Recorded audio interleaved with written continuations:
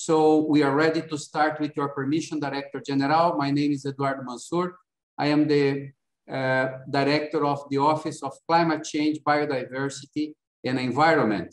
Uh, I'm speaking to you from the FAO headquarters in Rome, Italy, and I'm very honored to be the moderator of this uh, webinar to launch a very important report, the Global Assessment of Soil Pollution.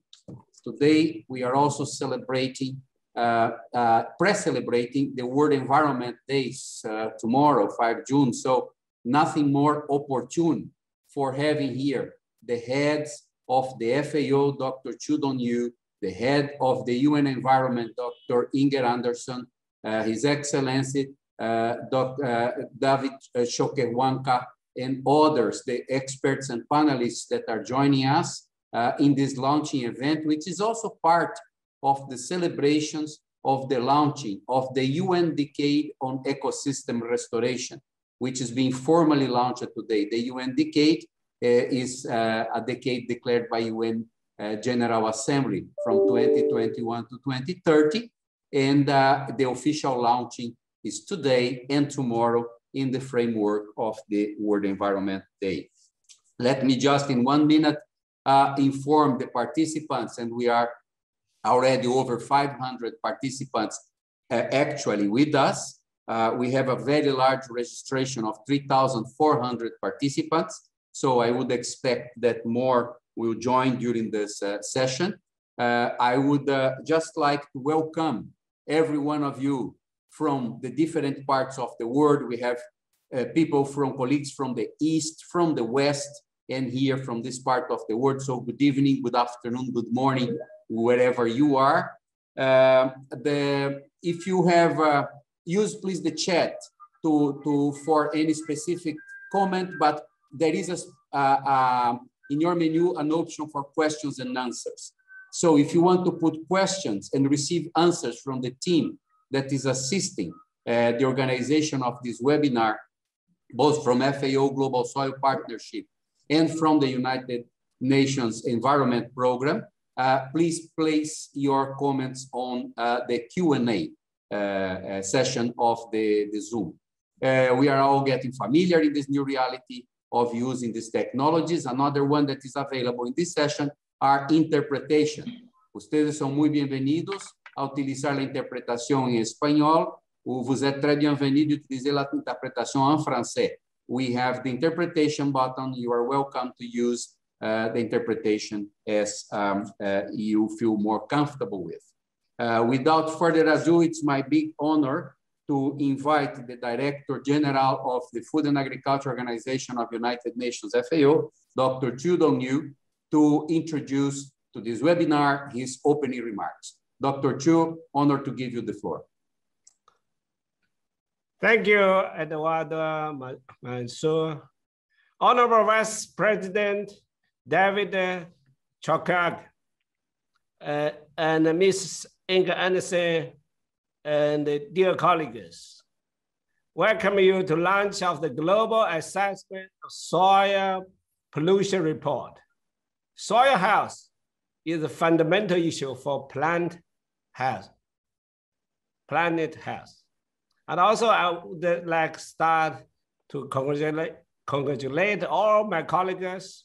Tomorrow, we will have an environment day, yeah? but since it's a Saturday, so I, I started to congratulate you and greetings you, all of us. Let's work hard to make sustainable environment, healthy environment, a good environment, what you say, you like to say. Soil pollution, jeopardizing crop yield, dietary nutrition, food safety, rural incomes, human health, and the health of our ecosystem.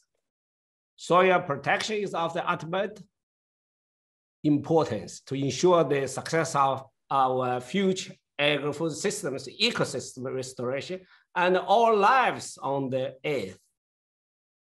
As revealed in this report, industry and mining activities, urban and industrial waste and unsustainable agricultural practice are the main source of the driving soil pollution worth.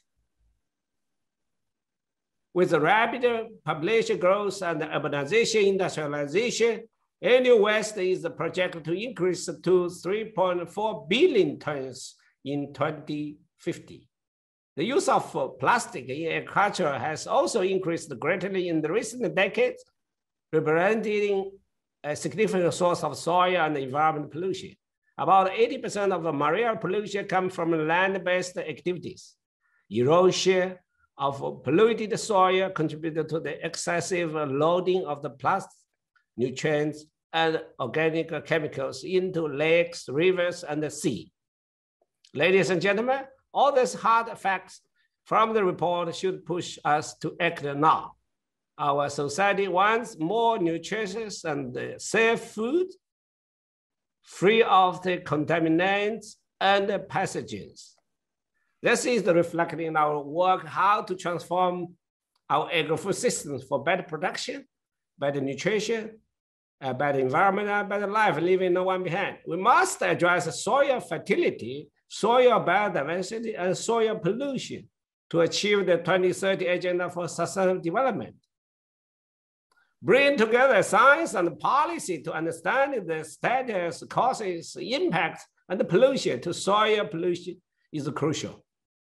Today's global status report on soil pollution re respond to the UN Environment Assembly's resolution, manage soil pollution to achieve sustainable development. It is a result of the inclusive process with the scientists from around the world consolidating science behind soil pollution and proposing concrete action. I really appreciate all the contribution from the scientific community. And my colleague uh, used to be, I was also scientist. Eh? I know the, it's a it's a of the science-based and the fundamental uh, uh, solid uh, uh, uh, fundamentals is the first step. But we need more politicians, more economists, and more other key players to work together. I'm hopeful that the findings of this report will pave the way for joint efforts to stop soil pollution and build up the coherent solution for soil recovery. We need a soil recovery because we have more people to be well fed by 2050, about 10 billion population to come.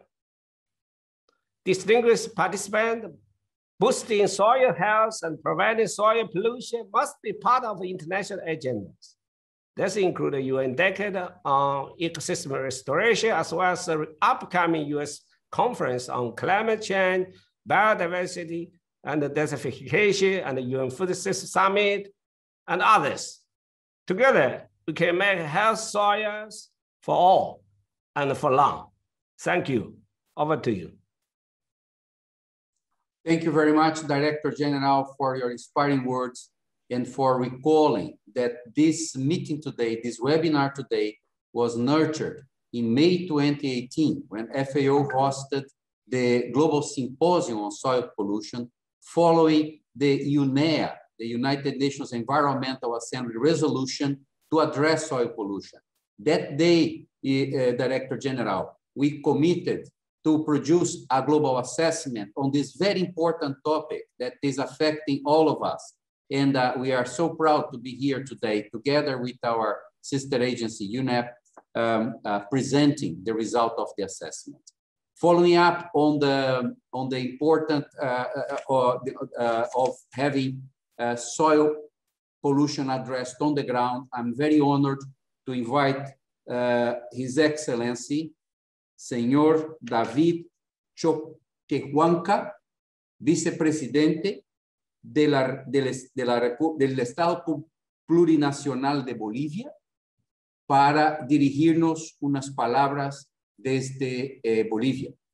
Excelencia, es un honor pasarle la palabra. Usted es muy bienvenido. Aruski pasi que punira kispawa obligación de dialogar, obligación de comunicarnos. Es un código de la cultura de la vida que se ha resistido durante más de 500 años. Por milenios, los pueblos de la Via Yala, los pueblos originarios, los pueblos indígenas, las culturas milenarias, vivimos y producimos una cultura en consonancia con la vida, escuchando a la vida, escuchando a la tierra, sintiendo el latir de los glaciares, escuchando el rugir del jaguar de la selva verde, dialogando con el abuelo fuego, con el agua, con nuestras montañas, mediante nuestras ceremonias ancestrales. Nunca nos hemos alejado de nuestra madre tierra. Seguimos caminando con respeto al agua, con respeto al abuelo fuego, con respeto a nuestras montañas, con respeto a las plantas, con respeto a las abejas, con respeto al tajpacha, todo lo que existe. Todo lo que sabemos, aprendemos de la naturaleza. Ella nos enseña a cuidar la vida. Por eso lo llamamos Pachamama, es decir, Madre Tierra, porque ella es la que nos cuida, nos enseña, sostiene y nos alimenta. Aprendimos de ella a vivir en complementariedad, consenso, equilibrio y en, y en armonía sin violentar las leyes de la naturaleza. Hoy, como consecuencia de la implementación de las leyes hechas por el hombre, la modernidad es un modelo de desarrollo occidental capitalista, el mundo, nuestra madre tierra, está al borde del colapso global. Todo está en riesgo, todo está en peligro. Nuestros ríos, océanos, glaciares, montañas, los bosques, las plantas, las aves, las abejas, todo está en riesgo. La vida está en riesgo. Hablar del suelo hoy es hablar de cómo los ciclos vitales del planeta que dieron origen a la vida están siendo alterados por los seres humanos, que en su ambición desmedida están provocando las condiciones para una catástrofe. Es cierto que no todos tenemos la misma responsabilidad en el colapso que se avecina. Los derrames petroleros, la contaminación minera, la producción de agrotóxicos que contaminan los suelos y matan a las abejas son provocadas por un puñado de transnacionales y bancos que anteponen sus ganancias a la vida. No hay duda de que el capitalismo nos está llevando a mercantilizar y saquear la naturaleza al extremo de destruir nuestro propio hogar, dejando ruinas y más ruinas todos los días. Pero no todo está perdido. Es tiempo de volver al camino del respeto a la madre tierra. Volver a ser Jiwasa. Jiwasa es otro código que, han, que se ha resistido al occidente. Jiwasa no soy yo, somos nosotros. Jiwasa es la muerte del egocentrismo. Jiwasa es la muerte del antropocentrismo y del eurocentrismo. Y cuando hablamos de nosotros, no solo hablamos de los seres humanos, hablamos de, todos los seres, de todos los que nos alimentamos con la leche de la madre tierra, que es el agua. Los seres humanos nos alimentamos con la leche de la madre tierra, que es el agua. Las plantas se alimentan con la leche de la madre tierra, que es el agua. Los animales se alimentan de la leche de la madre tierra, que es el agua. Somos hermanos, somos criados de la Pachamama.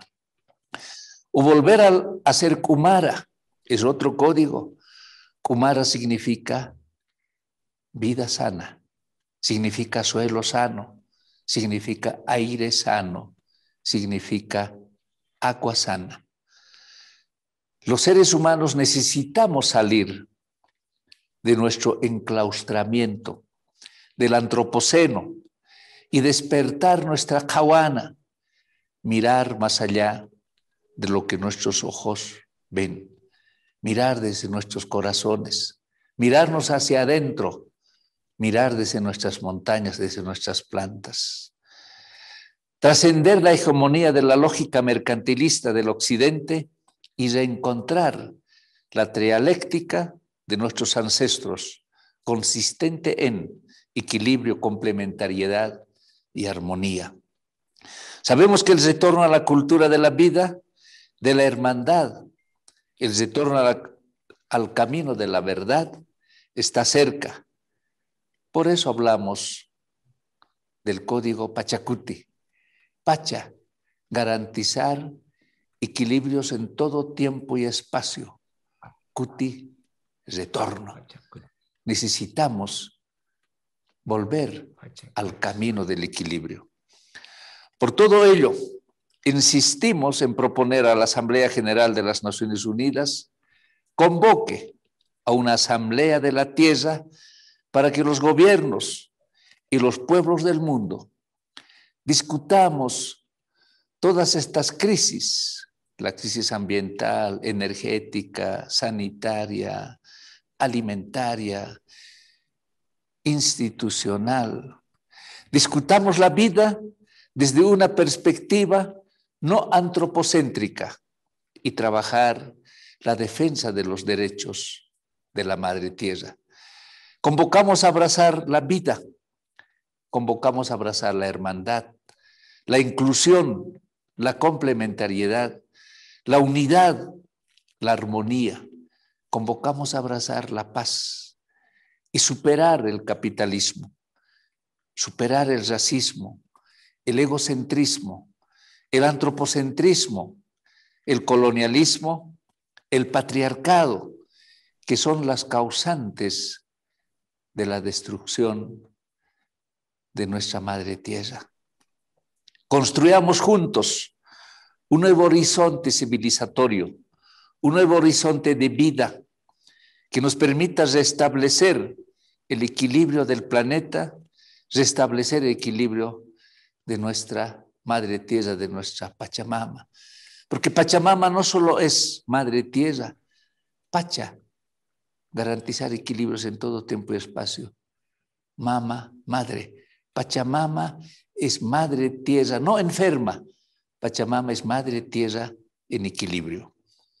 Escuchemos el llanto de dolor de nuestros bosques, ríos, montañas, abejas, aves, y despertemos la energía comunal para salvar a nuestros hijos y los hijos de nuestros hijos y forjemos el camino del reencuentro con nuestra Pachamama, el reencuentro con la vida, con la felicidad.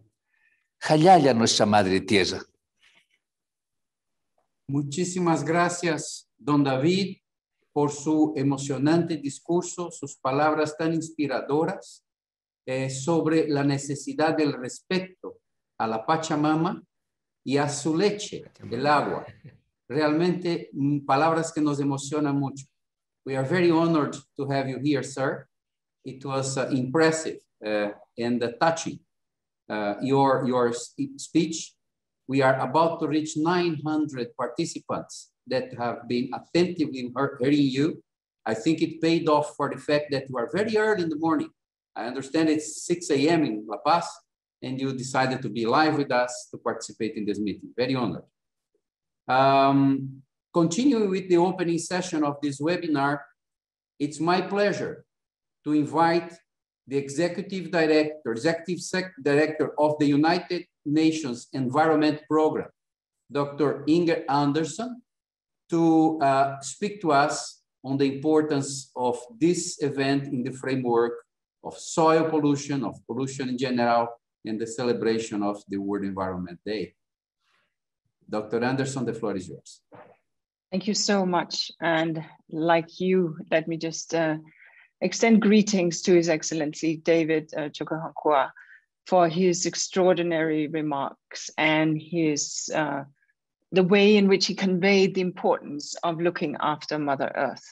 Indeed, I could not agree with you more, Excellency, that indeed it is humanity's toxic trail it is humanity's uh, destruction of our world that has led us to the situation where we are today, facing these crises of enormous proportion.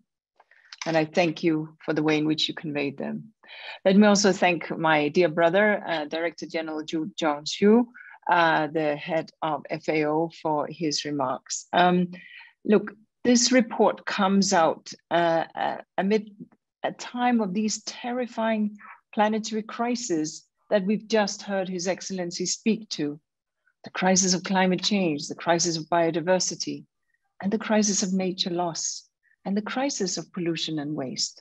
That triple crisis of climate, biodiversity, and pollution threatens human health, threatens our well being, our equality, and our peace.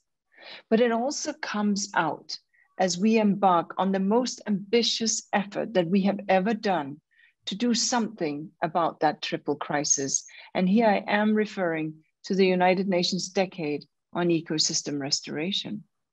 Because we understand that this decade is a great opportunity to change course, a great opportunity to mobilize that global movement to halt, to reverse, and to repair the damage that humanity has caused to the natural world, a great opportunity to deliver on the Sustainable Development Goals, to slow climate change, and to buy time to decarbonize our economies and our societies. As an international community, we must deliver on our commitments to protect and restore ecosystems during this decade. And backing healthy and productive soils must be the foundational element to the decade for so many reasons. Over 90% of our food comes from the soil. It is that Pachamama that delivers us our well being. It stores also more carbon than the atmosphere and all over the world's vegetation combined. It holds incredible biodiversity from worms to microbes uh, and that maintain soil fertility. And overall, soil biodiversity and soil carbon contribute an amazing amount of effort as well as, as financial contribution to the ecosystems services that we get globally every year. So yes, it's so easy to take soil for granted. It's dirt, it's sand, it is just there. It is beneath our feet, feet. It is in our fields, in our gardens, our window boxes and taking that for granted, maybe uh, for granted, maybe most people assume that it is endless and indestructible. But this report, as has just been summarized by Dr. Qu, tells us something else. The restoration decade has to focus on addressing the pollution of the soil ecosystem for the sake of our own, yes, but also for the sake of our planet, that Pachamama. So, how do we do this? Well, let me lay out some actions in four areas, largely drawing from the report and from UNEP's framework for a pollution-free planet. First, and this is so blindingly obvious, we have to stop the pollution.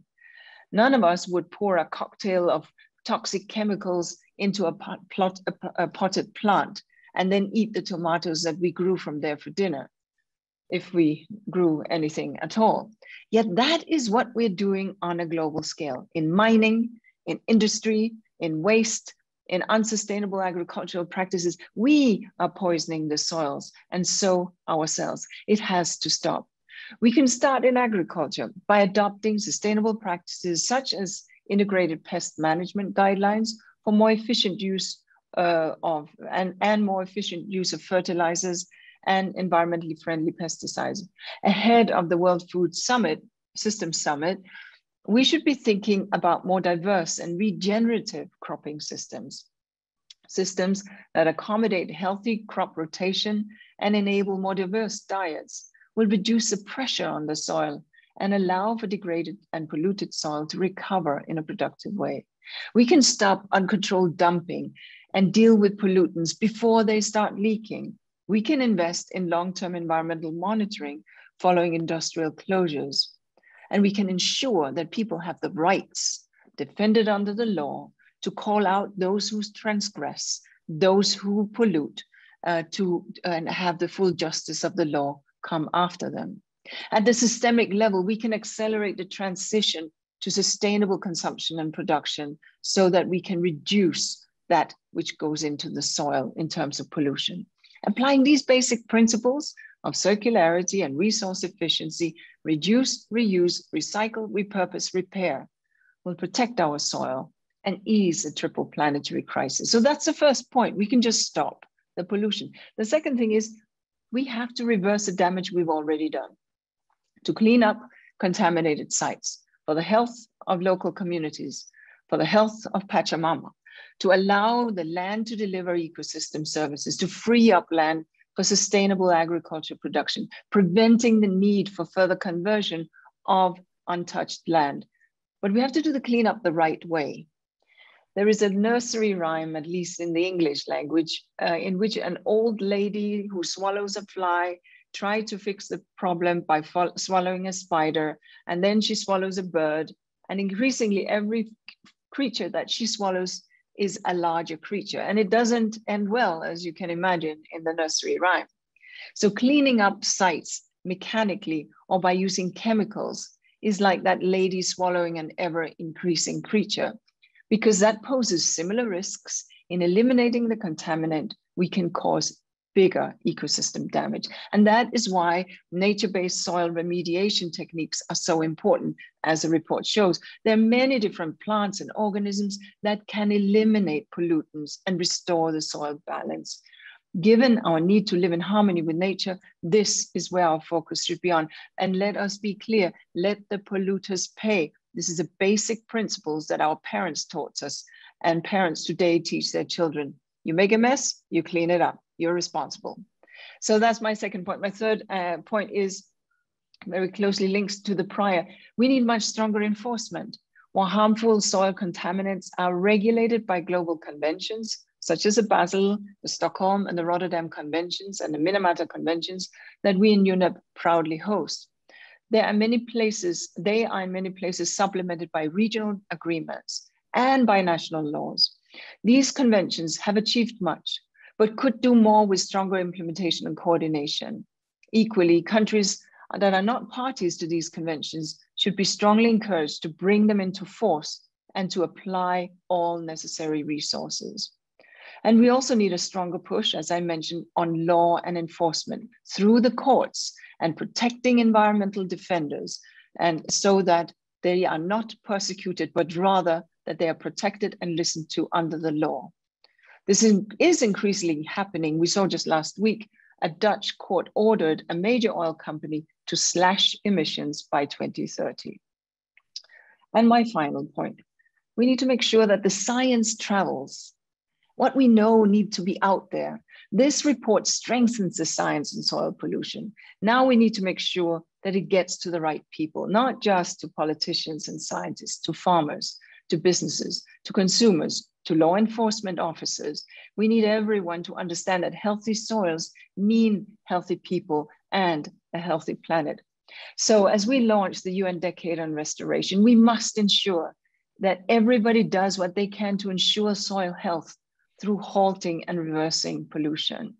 And that will be essential for the success of this decade, the sustainable development goals, the coming new biodiversity framework, and at the end, the very future of humanity.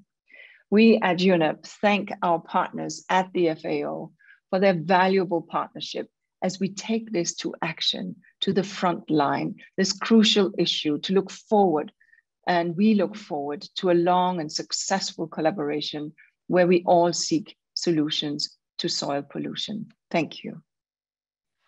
Thank you so much, Inger, uh, for the outstanding speech and very visual when you describe the four steps uh, towards addressing pollution and soil pollution. Uh, I, I, every, every, you can't imagine the amount of chat message that came in support of your speech here. Uh, we are reaching a thousand participants listening to us live uh, at this very moment. Uh, and it was very clear that without healthy soils, we are not having healthy foods. And without health, healthy foods, we are not having healthy lives. And healthy lives are the best um, defense we have against uh, the different threats we are facing, including the pandemic that we are facing. We cannot close this uh, launching event without listening from our colleagues of the sister agents World Health Organization. And uh, uh, unfortunately, the Director of Environment, Climate Change and Health of uh, WHO, uh, Maria Neira, was not available at this time to come to us, but she took the trouble to record a video and she sent the message to us through a video. So let me welcome you to see the video of Dr. Neira from WHO on uh, soil pollution and health.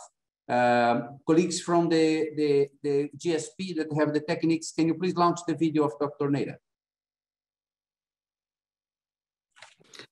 Excellencies, ladies and gentlemen, dear colleagues from FAO and UNEP, thank you very much for this opportunity. We are very happy to share with you a moment of this important event.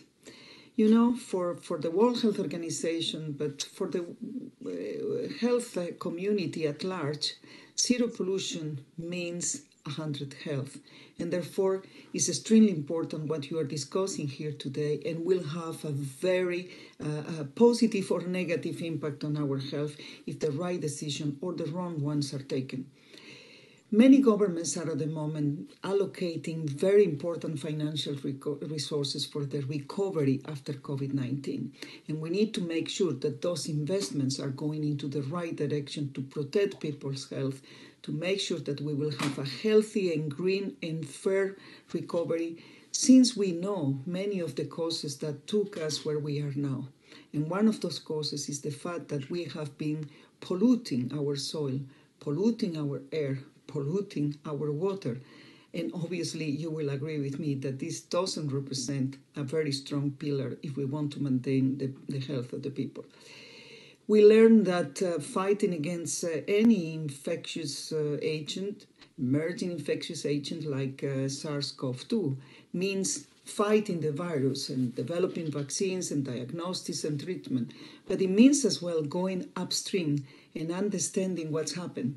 And now we know that one of the reasons why we are much more vulnerable and where the new emerging infectious agents can can break that uh, barrier between the animal species and human species is because we have been treating our nature on a very bad way.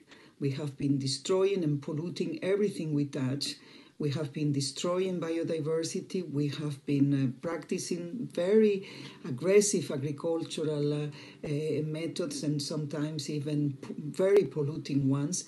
And therefore, we are putting at risk and, and increasing the vulnerability for human health of course, animal health as well, and environmental health. This approach now of One Health is very attractive. We have been promoting this concept and working on this concept for many years now. And, and, and FAO is one of the strong partners on this uh, tripartite agreement for, for One Health. But we need to reinforce this concept of the interlinkages between not only animal health and human health, but as well how much we are linked and how much we depend on nature and all the resources that we need for our health are coming from nature. And therefore, we are very happy that um, our manifesto for healthy and green recovery, containing six prescriptions, is very much uh, accepted by many because it's in fact a question of uh, common sense investments. And one of the prescriptions under the manifesto is exactly that. We need to make sure that we have very sustainable food systems we do not pollute our soil, we do not put at risk the, the, the healthy diets, the, the, nutrition, the food that we need, we need for our population, and again, don't polluting everything we touch. There is no limit for, for, for ambition on public health, and for us, what you are doing uh, today at this important meeting is part of our agenda on public health, as it is the climate change negotiations and the COP we know that if we tackle the causes of climate change, there will be enormous benefits on benefits of reducing air pollution, and by doing so, we will benefit enormously and reduce the number of deaths caused by exposure to air pollution. Similar, soil pollution. We know how much we depend on, on, on, on agricultural practices, on, on, on the way we will treat our resources, and therefore I know that the conclusions of this important report that you are launching today are very much linked to the health of our people. I thank you once again for this opportunity. I trust that uh, you will be very successful. And on behalf of WHO, thank you very much. And, and uh, we keep certainly strongly collaborating, all of us. Thank you very much. Thank you very much for the colleagues in the WHO for sending the message of Dr. Neira and her inspiring words, her reference to our joint work under the One Health. And uh, we are, as I mentioned, about to reach a thousand participants. And uh, some questions are popping up. I'm very happy to see them in the Q&A part of the, the session. Some of them are, I haven't seen the report you're talking about. We are here for a launching of report. Where is it? Don't worry, we are exactly teasing your interest. It took us three years from the Symposium on Global Soil Pollution uh, in, in May 2018 to today to produce the report. I'm privileged to have here one copy and soon you're gonna have it online. We are being paper smart the publication hard copy is only a summary for policymakers, 60 pages. The whole set of documents will be available online and it's free. Uh, and I'm going to introduce it to you now through my colleagues. They have uh, prepared a nice video on positioning the issue of soil pollution. And immediately after, a colleague from the Global Soil Partnership will present the report. And that's the moment that the report will come live on the link that we are going to provide to you in the chat and on the different uh, social media um, um, tools that uh, are being used here. Please, uh, my, my, my other colleague, uh, uh, Isabella already put in the chat the hashtag uh, stop soil pollution for us to adhere if you want to help us promote this event, promote the end of soil pollution and promote the celebration of the UN Decade on Ecosystem Restoration and the World Environment Day. Uh, again, from the colleagues of the, the, the organization of the event, can you please launch the video on soil pollution that will pre-introduce the report? Thank you. Soil pollution, a hidden reality. Beneath our feet lurks a hidden danger, soil pollution. Soil pollution can be invisible and seems far away, but everyone is affected. Soil pollution is a worldwide problem which degrades our soils, poisons the food we eat, the water we drink, and the air we breathe, posing a serious risk to food security, human health, and the environment. Soils have a great potential to filter and buffer contaminants, degrading and attenuating the negative effects of pollutants. But this capacity is finite. Most of the pollutants originate from human activities, such as unsustainable farming practices, industrial activity and mining, untreated urban waste, and other non-environmental friendly practices. As technology evolves, scientists are able to identify previously undetected pollutants. But at the same time, these technological improvements lead to new contaminants being released into the environment. The Sustainable Development Goals 2, 3, 12, and 15 have targets which command direct consideration of soil resources, especially soil pollution and degradation, in relation to food security. The consensus achieved on the Declaration on Soil Pollution during the last UN Environment Assembly is a clear sign of global determination to tackle pollution and its causes. It is time to uncover this threatening reality. Combating soil pollution requires us to join forces and turn determination into action. It is the time to fight soil pollution be the solution to soil pollution.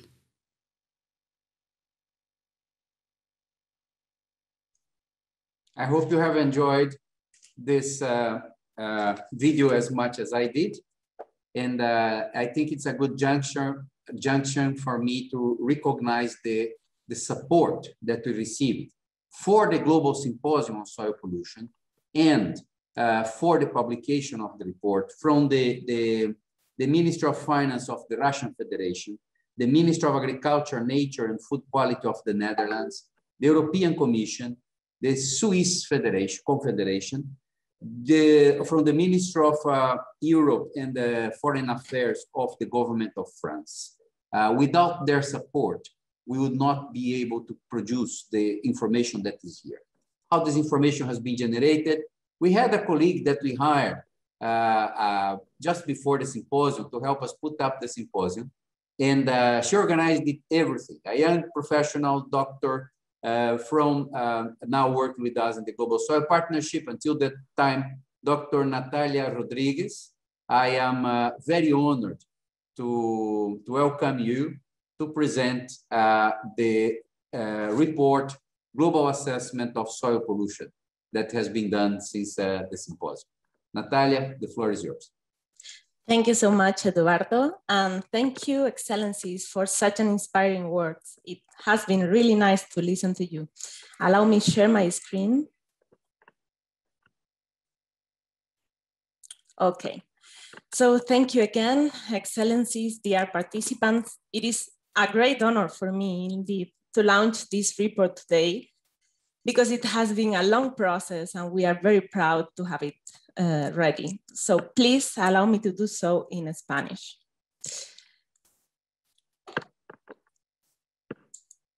Ok. En 2015, la FAO y el Grupo Técnico Intergubernamental de Suelos lanzaron el informe sobre la situación de los recursos del suelo en el mundo. Este representa la primera evaluación mundial del estado de los suelos y de las principales amenazas para el funcionamiento del suelo, en que la contaminación se, identifica como una de ellas. Sin embargo, ponía de manifiesto que la información sobre la contaminación del suelo no estaba disponible en todas las regiones y cuando existía estaba muy fragmentada y sin armonizar. Los estudios sobre la contaminación del suelo se han disparado desde entonces, permitiéndonos tener una imagen más amplia pero aún incompleta. En 2017 se produce un hito muy importante en la comunidad internacional, ya que los ministerios de medio ambiente de 173 países firman la resolución de la UNEA 3, en la que se afirma que la contaminación del suelo debe abordarse si se quiere alcanzar la Agenda 2030 de Desarrollo Sostenible. Paralelamente, la FAO y, y la Alianza Mundial por el Suelo organizan el Simposio Mundial sobre la Contaminación del Suelo de la mano con eh, el Programa de las Naciones Unidas para el Medio Ambiente, la Organización Mundial de la Salud y la eh, Secretaría de las Convenciones eh, sobre Químicos. Este simposio trajo de la mano a todos los expertos para poner la información más actualizada sobre la mesa y para la búsqueda de soluciones. Y estas soluciones quedaron plasmadas en el documento Ser la solución a la contaminación del suelo, que estableció nuestra agenda de acción. En respuesta a la UNEA 3 y al documento sobre la contaminación del suelo, la Alianza Mundial por el Suelo, de la mano de, UNEP o, del PENUMA, prepararon o iniciaron la preparación de este informe que estamos lanzando hoy.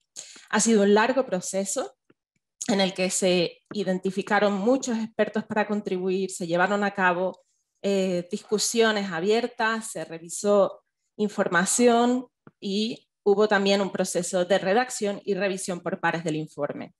Más de 200 expertos han participado de un modo u otro en la elaboración de este informe y aprovecho esta oportunidad para agradecer a cada uno de ellos por el apoyo prestado y en especial a mi colega, eh, a mi contraparte en el, en el PENUMA, Abdelkader Benzada. El informe se divide en 14 capítulos y presenta información sobre los principales contaminantes del suelo, describe también las principales fuentes de contaminación del suelo, tanto naturales como antrópicas, los impactos en la salud humana, ambiental y socioeconómicos, también incluye una evaluación de la situación regional que mis colegas presentarán a continuación y resume algunas de las mejores técnicas disponibles para la gestión y la remediación de suelos contaminados, incluidas soluciones basadas en la naturaleza. Y ofrece, por último, un camino a seguir para abordar eficazmente la contaminación del suelo a nivel mundial. El informe está ya disponible en línea y mis colegas van a poner este enlace que ustedes ven aquí en mi presentación en el chat para que lo puedan consultar.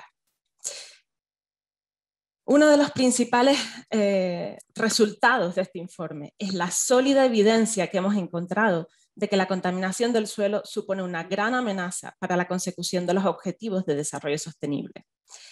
Es especialmente importante para el nexo pobreza, eh, alimentación y salud, ya que la contaminación del suelo reduce el rendimiento, la seguridad y la calidad de las cosechas, lo que conlleva a una reducción de los ingresos de las poblaciones rurales y golpea más duramente a los más vulnerables.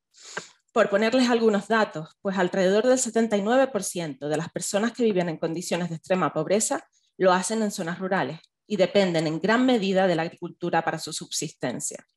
Pero ¿qué ocurre? Que la contaminación del suelo es responsable de una pérdida de productividad agrícola de entre el 15 y el 25%, aunque se han registrado valores aún más altos, como en el caso de Ghana, donde la contaminación del suelo producida por una zona minera cercana redujo una productividad del 40% en tan solo ocho años.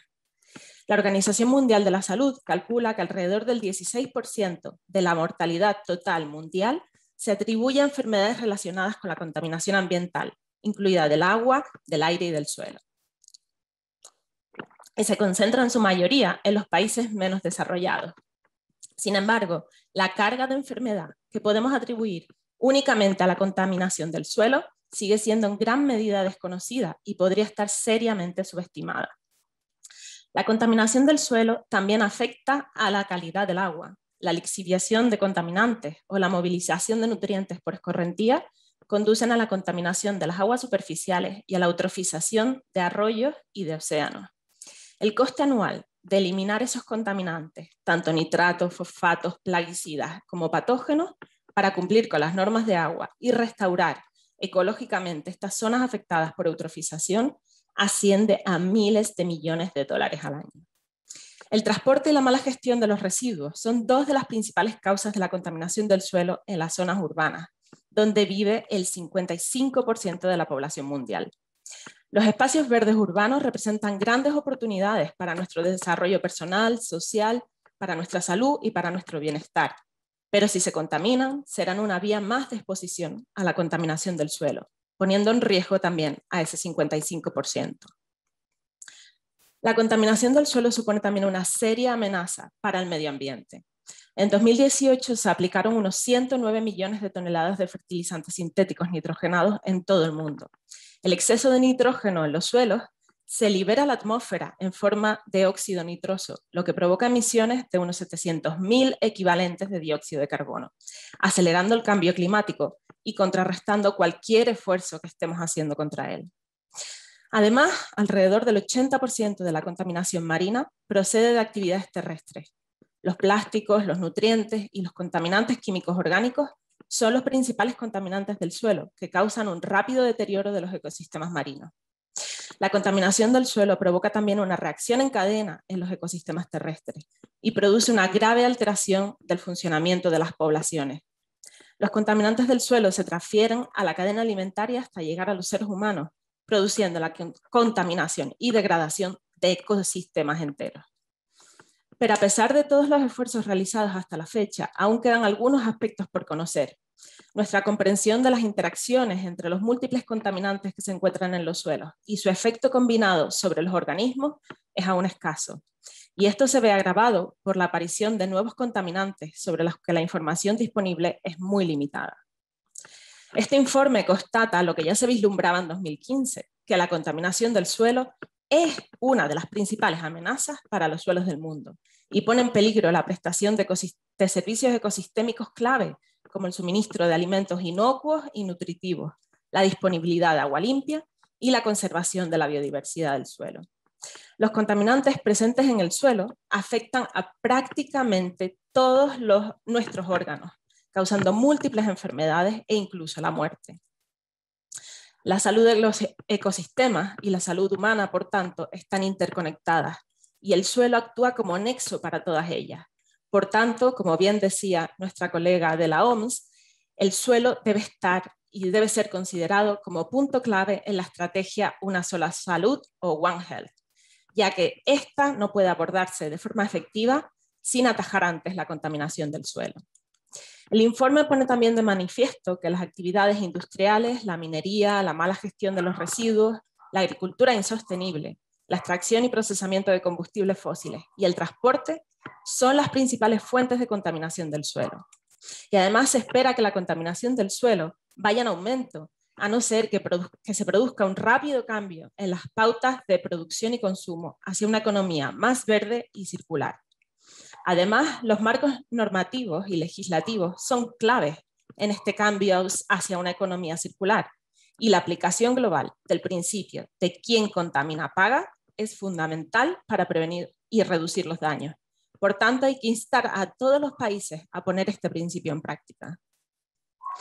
Junto con el cambio climático, la contaminación ambiental y en especial la contaminación del suelo es uno de los principales retos globales a los que nos enfrentamos hoy en día como humanidad. Y es un problema transfronterizo que requiere acciones globales coordinadas.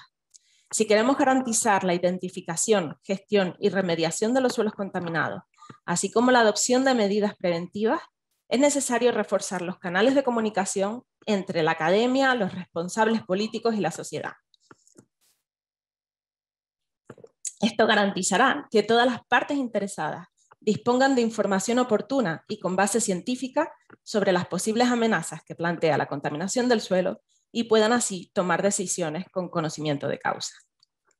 Y para terminar, les presento nuestra propuesta de camino a seguir, basada en las pruebas científicas reunidas para este informe, así como la opinión de expertos que han participado en diferentes foros de la Alianza Mundial por el Suelo y del Programa de las Naciones Unidas para el Medio Ambiente, que pueden resumirse en cuatro puntos clave. En primer lugar, debemos mejorar el conocimiento sobre la contaminación del suelo, desde la identificación y la cartografía hasta el seguimiento. Y para ello queremos proponer la creación del Sistema Mundial de Vigilancia e Información sobre la Contaminación del Suelo, de forma que podamos apoyar a los países en la recogida de datos e información armonizados. Queremos también reforzar los marcos legislativos y las acciones técnicas, pues sin ellos nada puede ser eh, llevado a cabo. Y debemos abogar por un compromiso global para prevenir, detener y remediar la contaminación del suelo en el marco, como se ya ha mencionado, de ambiciones como la contaminación cero o hacia un planeta libre de contaminación, aprovechando también esfuerzos y objetivos regionales, como puede ser el Pacto Verde Europeo. Debemos mejorar la concienciación y la comunicación mediante una campaña de sensibilización global y promoción de un consumo responsable y respetuoso con el medio ambiente serán parte clave de nuestras acciones. Debemos fomentar una economía circular poniendo especial énfasis en las cuatro R, reducir, reutilizar, reciclar y recuperar. Y por último, debemos fomentar la cooperación internacional, facilitar la transferencia de conocimientos científicos en, medios abiertos a todo el público y abogar por la transferencia de tecnología y la creación de capacidades cruzadas para todo el ciclo de la contaminación del suelo. La Alianza Mundial por el Suelo y el Programa de las Naciones Unidas para el Medio Ambiente están listas para avanzar esta agenda global sobre la contaminación del suelo, en colaboración con todos aquellos interesados, y así lograr entre todos un mundo con cero contaminación. Y para concluir, me gustaría terminar mi presentación con esta reflexión, ya que hoy también celebramos el lanzamiento de la década de, la década de restauración de los ecosistemas. As we strive to restore 350 million hectares of land in the framework of the UN Decade on Ecosystem Restoration, we cannot neglect the role of healthy soils. To restore world ecosystems, we must address soil pollution and restore soil health and ecosystem services it supports. Thank you very much. Muchísimas gracias a todos. Muchísimas gracias, Natalia. Again, uh, when we are here over a thousand participants attending, uh, we can you can imagine during the presentation the number of chats, questions that popped up, including on the the um, how to get the report because now it's out there. You saw it in the chat. It's available for for online reading. We are trying to be as much paper smart as we can. We encourage you to use it electronically uh, but uh, my colleagues will confirm to me if it will be available for downloading in the PDF format as well. I will get the answer to you in a minute. Um, I have some, uh, yes, uh, also some comments in terms of the fact that Natalia spoke in Spanish, remind you that the interpretation is available in the three languages. Please access it uh, when you need. Um, most of our presenters, and especially the Director General of FAO and the Executive Director of UNEP, uh, mentioned to us the importance of acting on the ground. Yes, we are celebrating today, uh, anticipated the launching of the UN Decade on Ecosystem Restoration in the World Environment Day 5 June, which celebrated tomorrow. But we have to look at um, how we are going to do to address soil pollution to be the solution to soil pollution, to stop soil pollution. And that happens on the ground. That happens uh, in, the, in, the, in the countries with the farmers, with the, the people that are, have direct interaction with it. So that's why we decided to invite uh, seven colleagues from different regions to speak to us what's the situation of uh, what's the status of soil pollution at their regions.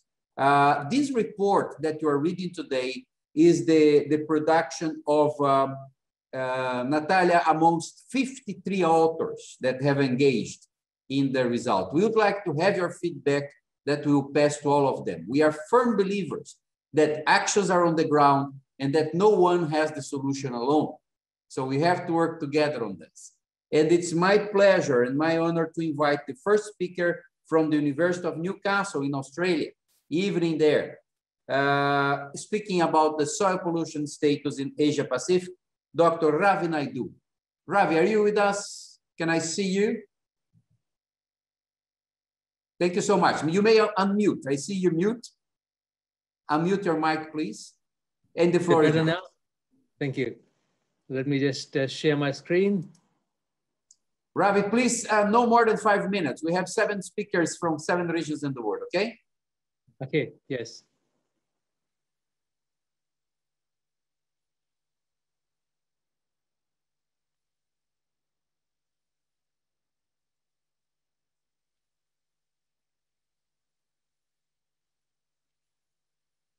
You may put it in presentation mode. It was there, it's not anymore. Uh, yes, I'm just uh, trying to figure out where it is. Yeah. We are seeing it now. Can you see it now? Yes, but put in presentation mode. Okay. Just click there in the presentation mode. It, it is presentation mode and just wonder why we don't see that. Okay, you may move ahead. For a question of time, just scroll through this. I think we can see this.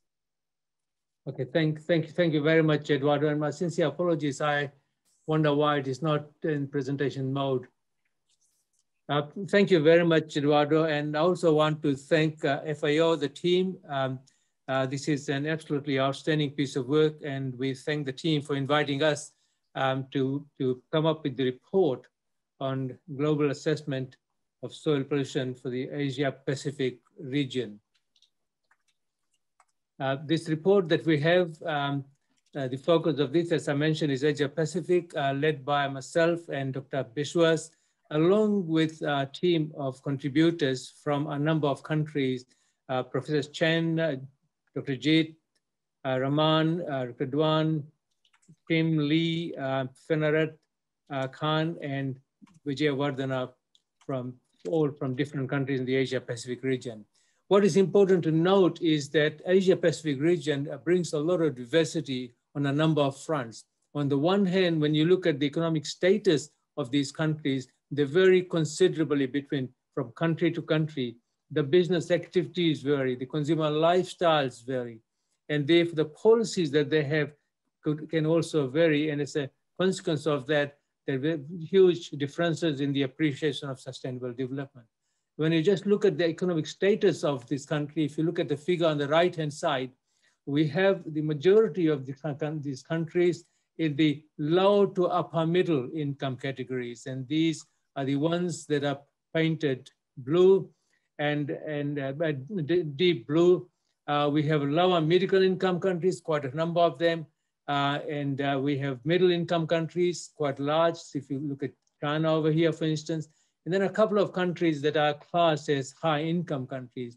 The very fact that the lower and middle income countries are aspiring uh, to develop and also grow the economies, there's a huge push towards industrial development as well because it provides jobs. As a consequence of this, there, if you look at the extent and severity of environmental contamination, it can vary quite a lot depending on what country you're looking, looking at, going from New Zealand, Australia, all the way to, to Asian countries as well.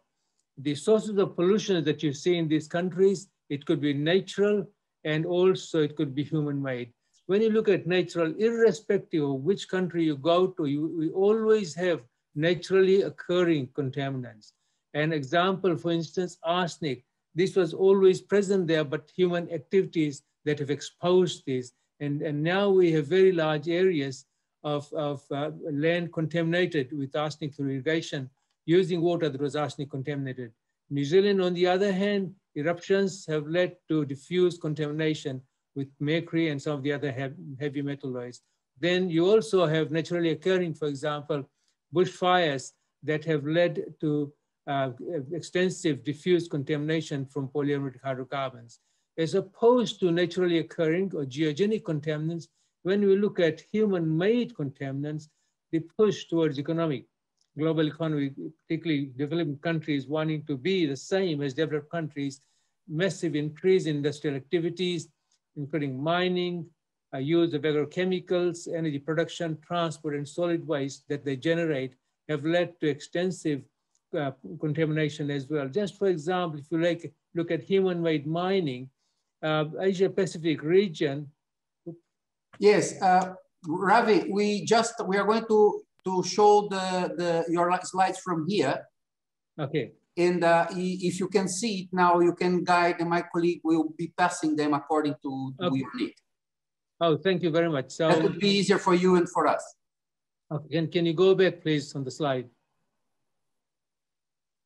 One more, yes. So if we just look at uh, mining, for example, coal mining, um, Asia Pacific region produce far more than any other country. And while coal itself might not be seen as pollutant, but when you burn it, emissions that we generate, when we mine it, the degradation, land degradation, all of these contributes towards the contamination of the environment. Solid waste, every individual, we generate a ton of 1,000 kilograms of solid waste annually. What do we do with this? Are we able to manage this? The question that we're asking now. And of course, pesticide use. If you look at uh, Asian countries, we use far more than some of the developed countries as well. And that is leading to extensive diffuse contamination of, of, of, of, of, our, of, our, of our environment. Uh, clearly, we do need policies I'll talk about later to manage this extent and severity of contamination that we see in the region. Next slide, please. Thanks, thank you. Here is one example of paper that was published in 2019. I believe this is an excellent paper by Zheng and his co-authors. And if you look at what they have, what they have published, that 22.1% of China's farmland soil presents a mixture of contaminants.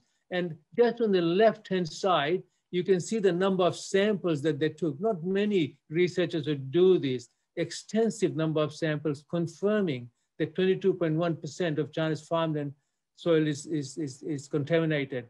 20.8% of soils are likely to pose a carcinogenic risk to the adult population and an even greater risk to children. So if you look at the left-hand side here again.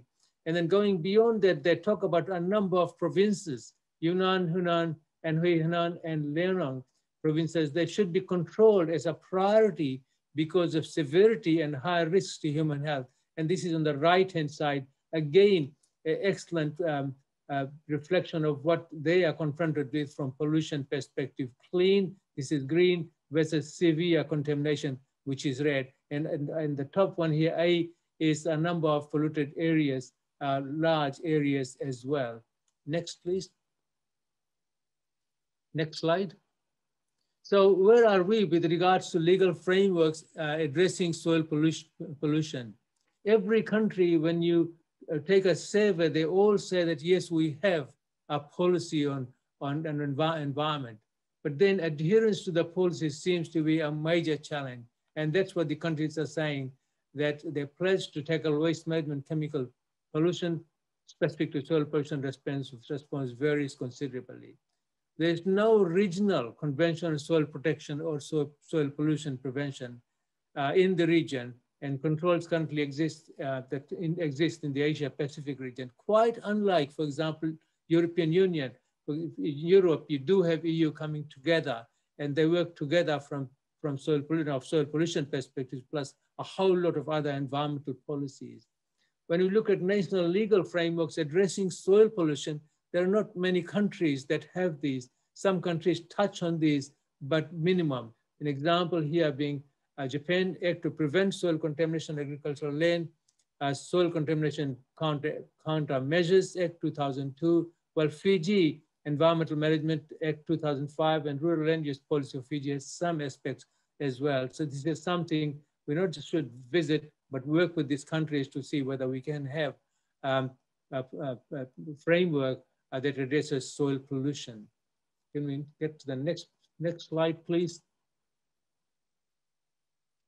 So what are the, some of the key messages? Having reviewed uh, pollution status of the Asia Pacific countries, uh, we note uh, that, um, that many developed countries in the Asia Pacific, they have implemented legislation that, that prevents greater environmental pollution and provides guidance for soil remediation. Uh, that said, in most developing countries in the region, they're still struggling to to cope with soil pollution, largely because the lack of adherence to any policies that they have. Some of the gaps identified, um, the register of potentially contaminated sites, we don't have that, but then many developed countries don't have that either. A challenge that we face is that we do not have sufficient human resource capacity in the region who are trained to assess, manage, and, and clean up environmental contamination. So we need to build capacity in the region. And hence, contaminant sites assessment is weak in the region. There's a lack of appreciation of source receptor pathways and life cycle analysis from contamination perspective. Above all of these, there's a lack of, lack of awareness amongst the people that pollutants uh, do lead to fatalities. That's something which we need to bring to the attention of people as well. Food security and safety issues are of concern, and there's no soil pollution exclu exclusive guidelines. Cutting across all of this, there's no country in the Asia Pacific region that has policy on diffuse pollution.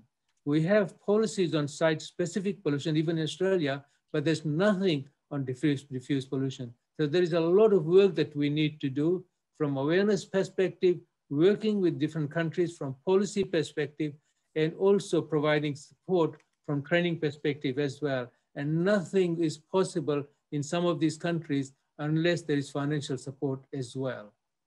Can we get to the next one, please? I don't think.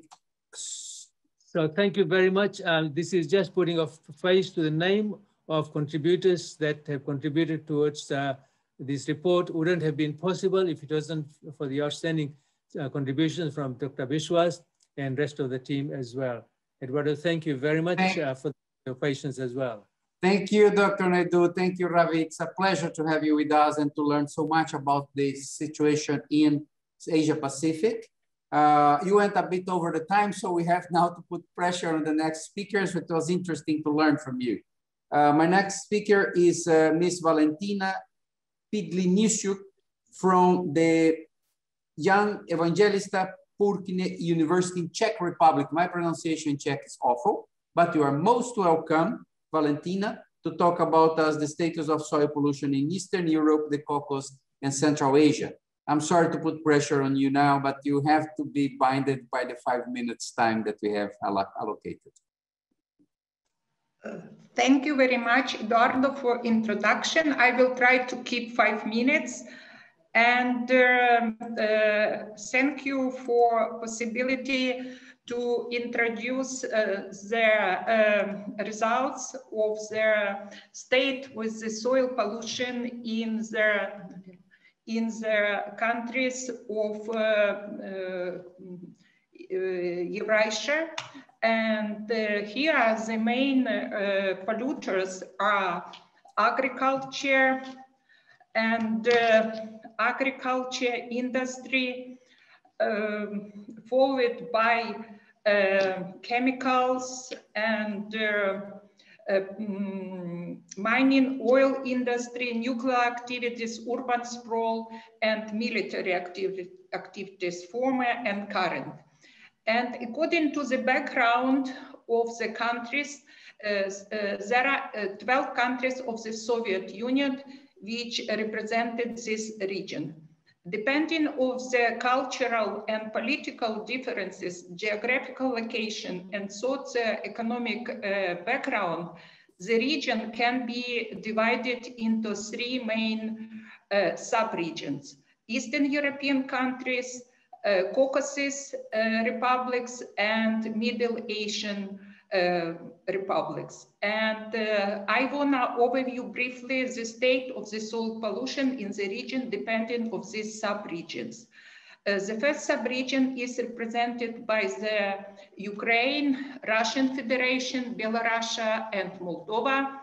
And the biggest um, uh, soil pollution are caused by the industry, industrial accidents, agriculture, mining, and chemicals. And the biggest concern in the region is contamination by soil after the Chernobyl catastrophe, which happened in 1986.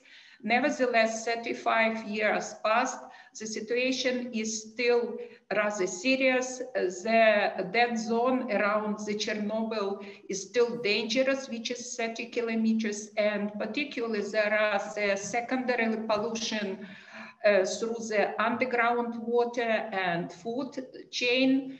And it should be mentioned that uh, according to prognosis, uh, the uh, radioactive elements which released in eight, 1986 uh, are now transferring to americium. This map illustrated the prognosis of the contamination of the region in year 2050. And uh, uh, uh, I want to um, mention that in 2019, uh, thanks to international uh, foundations, different, uh, the shelter was built over the Chernobyl station, which preserved the release of uh, radioactive elements to the air in case something happened with the destroyed reactor. Uh, the second the second region is presented by Caucasus Republic, and uh, uh, there are Georgia, Azerbaijan, and Armenia.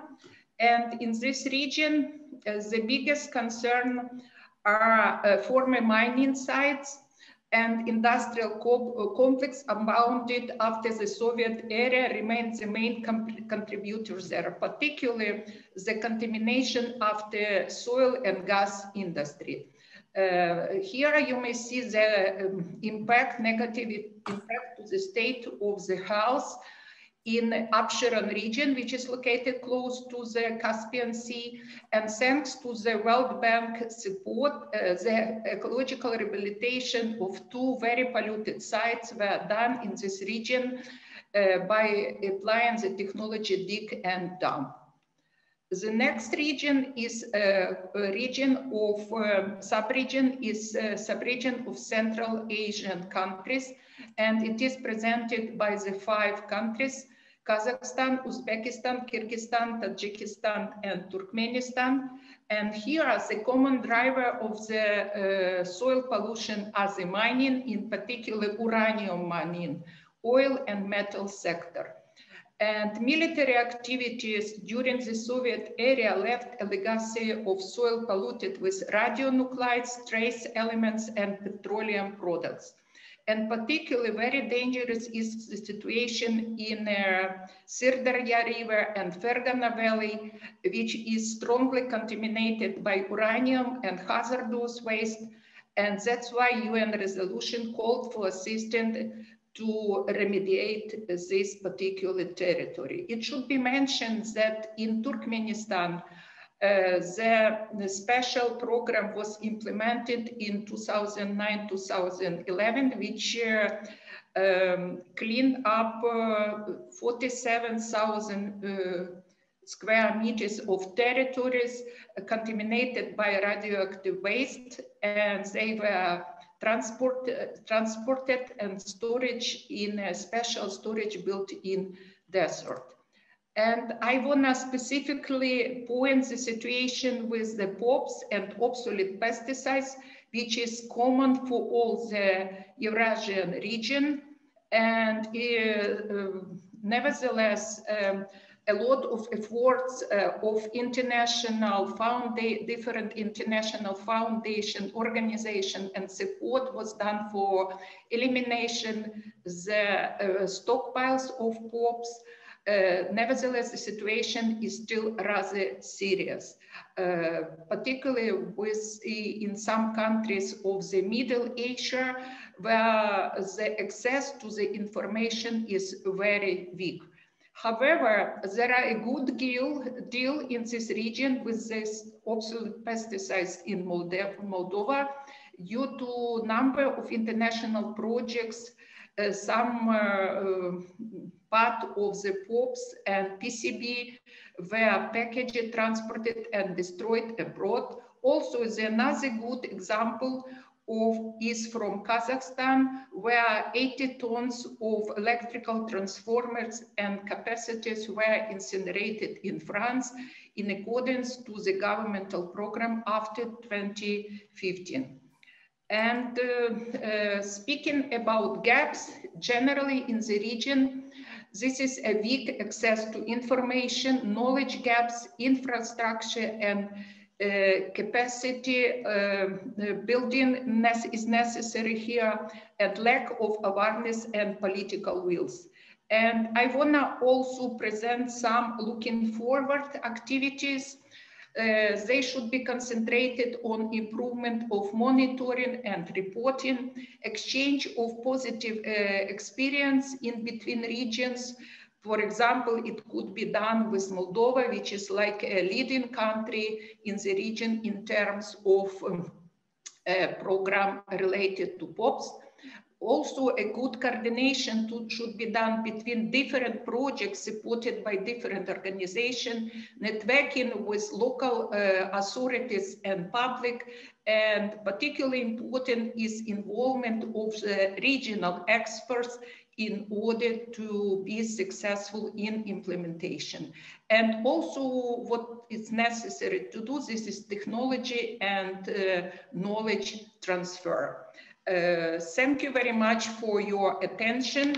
Thank you, I, Valentina. I was within uh, not five, but like seven minutes. Seven minutes, and yes, but it was so so fascinating to hear from you, and uh, we know that you are addressing very serious soil pollution problems in the region, it's important to see how positive you are looking at the possible solutions for this.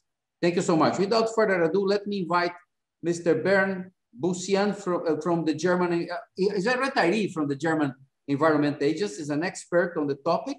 And uh, Bernd will, is gonna present us the status in Europe. Uh, Bernd, the shorter you can make, the more time we'll have for the other colleagues. Thank you.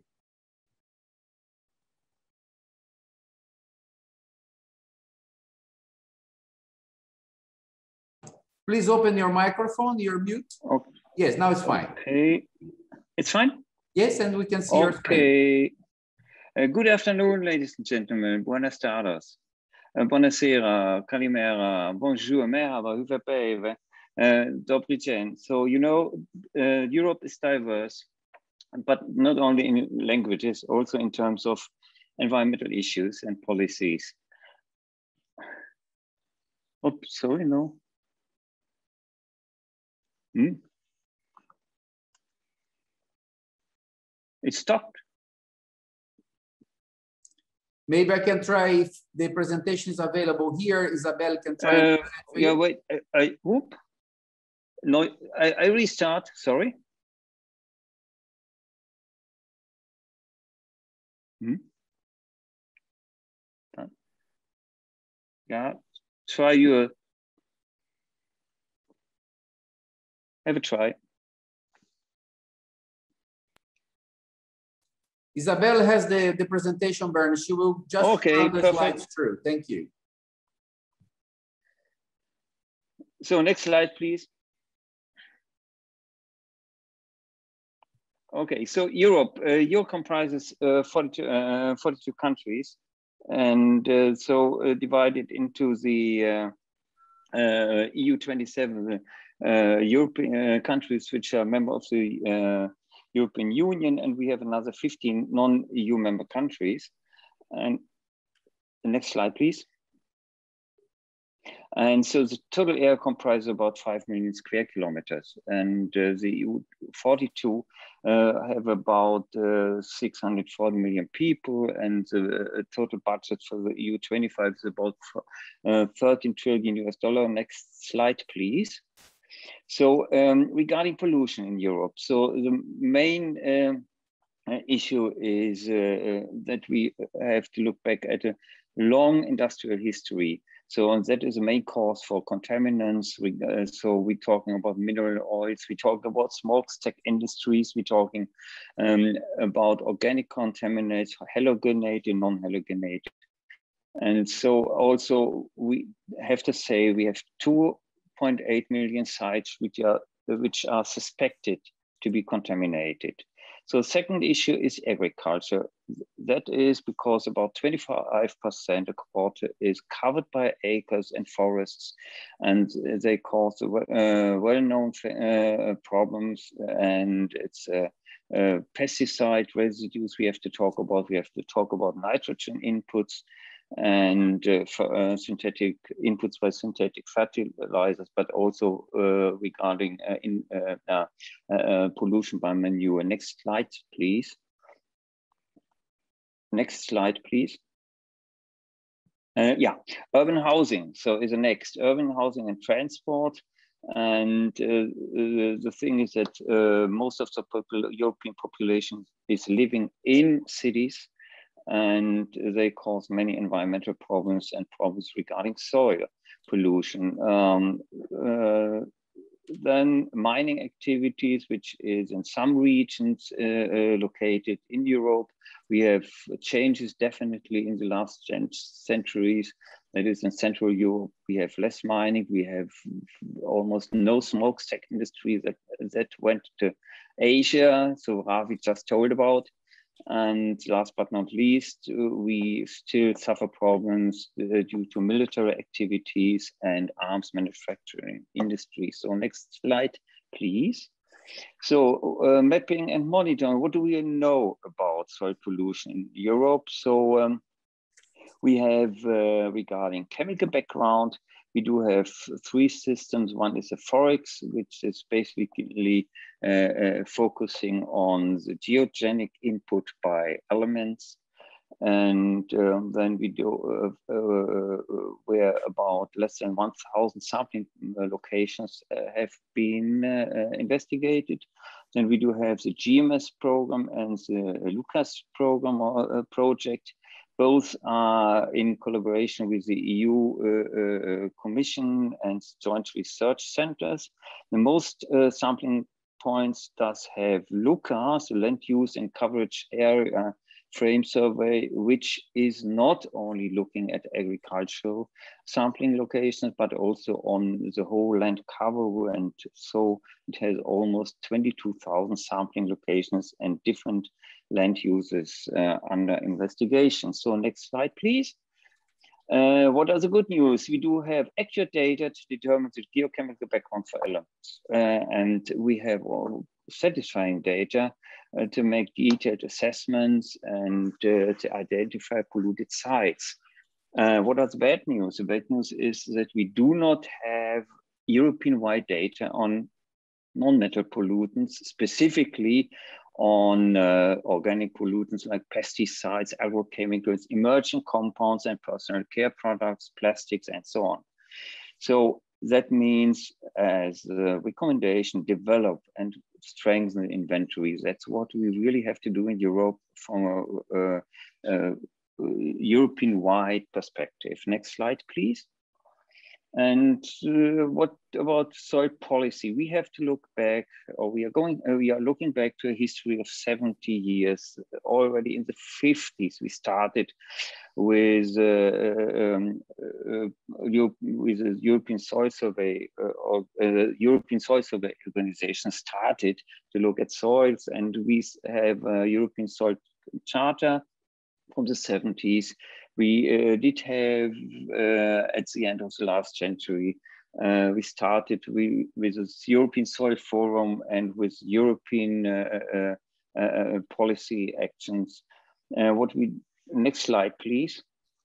What we do have in Europe is a soil thematic strategy. We're still working on that. Uh, but we do not have a so common soil legislation since uh, about 35 different level, EU level policies exist which tackle soil issues. And uh, uh, uh, we have about 30, we have 13 EU directives which tackle soil issues. And we have uh, more than 600 national policies, but what we do not have is common, uh, common uh, legislation. Next slide, please.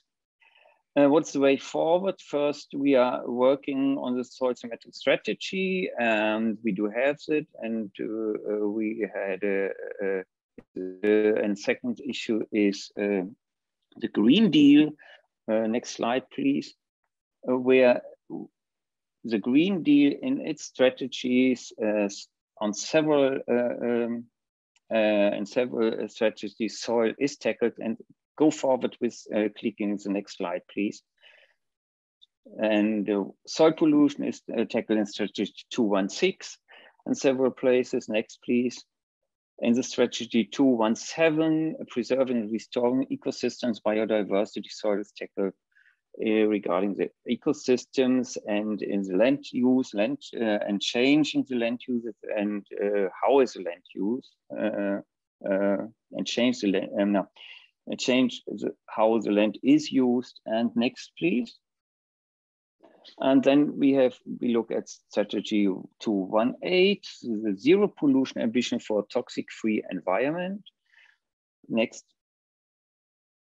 Um, there, uh, prevent pollution is uh, also an issue which uh, is related to soil. Uh, and here better monitoring, better reporting and uh, means we have to prevent and we have to remedy soil pollution. This is definitely an issue for whole Europe, as I said before.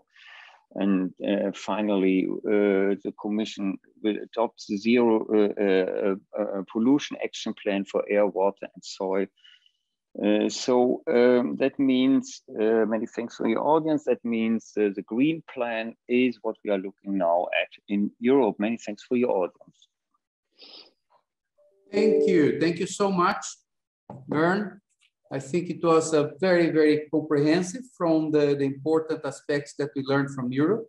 And now uh, I would like to call our next speaker from the region. Let's make sure here I have the right name. Rosalina González from Latin America and the Caribbean, Universidad de La Salle en Colombia. Doctora Rosalina. Muy buenos días a todos. Eh, muchas gracias por esta invitación, por esta invitación tan importante. Voy a hablarles acerca del estado de la contaminación del suelo en América Latina y el Caribe. En ese sentido, quiero comentarles que los principales direccionadores de la contaminación del suelo son la agricultura, la minería, la extracción, transporte y procesamiento de petróleo y aquello que tiene que ver con el manejo inadecuado de residuos sólidos y aguas residuales municipales. En cuanto a las prácticas agrícolas, es importante mencionar que en América Latina el uso de pesticidas por área ha llegado pues, a niveles que van entre 2.27 y 5.37 kilogramos por hectárea. Y con gran preocupación observamos cómo en el uso mundial de plaguicidas y pesticidas en Colombia hay tres países, entre ellos Brasil, Argentina y Colombia, dentro del top 10 de plaguicidas así como también la utilización de fertilizantes ha llegado a valores que están del orden de 140 kilogramos por hectárea arable y el uso de materiales de residuos de animales utilizados también en suelos entonces, están generando un impacto. ¿Cuál es la situación más preocupante? Y es que no se ha analizado Primero, ese impacto que ocasiona sobre las características físico-químicas y biológicas sobre el suelo y es un gran área de estudio para investigar y para determinar exactamente qué es lo que está ocasionando. Por otro lado, la minería y la industria de petróleo es un factor fuerte de contaminación del suelo en América Latina y el Caribe y es así como en los países de la región se observa bastante y con gran preocupación también algo que se ha observado es la minería ilegal que en este sentido implica el uso de una serie de materiales que aún no regulados están utilizando en el suelo. En cuanto al tema del transporte, de la extracción de petróleo, muchos de los países de nuestra región lo están realizando pero desafortunadamente hay situaciones como el hurto de hidrocarburos y aún como situaciones de tipo terrorista, donde voladuras en los oleoductos, donde eh, situaciones de hurto generan eh, mucha contaminación debido a un continuo lixiviado de estos materiales a través del suelo y, y obligan a una serie de medidas de remediación y legislación en este sentido. También es de destacar que nosotros al tener alrededor de 7.5 millones de barriles por día eh, que están saliendo de nuestra región, implica esto pues que debemos trabajar en este tema también de una manera mucho más fuerte. El otro tema es el manejo de residuos sólidos y el vertimiento que se está haciendo sobre el suelo de aguas residuales. Se proyecta que para 2050 América Latina estará generando 670 mil toneladas por día de residuos sólidos y aún se observa que hay un gran porcentaje de lugares donde la disposición se hace en botaderos o basurales a cielo abierto, que esto implica realmente un gran impacto sobre el suelo y que es uno de los grandes retos que tiene la región para trabajar allí. Eh, desafortunadamente, solo para 2017 el 31% de la población contaba con una gestión del tema sanitario adecuado, pero todavía hay alrededor de un 20% donde vemos temas como defecación al aire libre o servicios de saneamiento sin mejoras o limitado, que implica un impacto directo al recurso en ese sentido. Y la situación que tiene que ver con vertimientos de aguas residuales, ya sea tratadas o no tratadas, sobre el suelo, donde se observa que solamente 60% de la población está conectada a sistemas de tratamiento de agua residual y solo del 30 al 40% de ese volumen es tratado. Entonces, el resto, ¿qué está pasando con ese resto de material? ¿Cómo está llegando y cómo está haciendo esa relación entre suelo, características físico, químicas y biológicas? Entonces, hace mucha falta en ese sentido el estudio en la región como tal. ¿Cuáles se observan como principales contaminantes? En materia de sustancias orgánicas, pesticidas, hidrocarburos, sustancias farmacéuticas, medicamentos y productos de belleza, también como plásticos y, sustancias poliméricas sintéticas. En cuanto a metales, se observa el plomo, el cadmio, el mercurio y otros contaminantes emergentes y plásticos y microplásticos.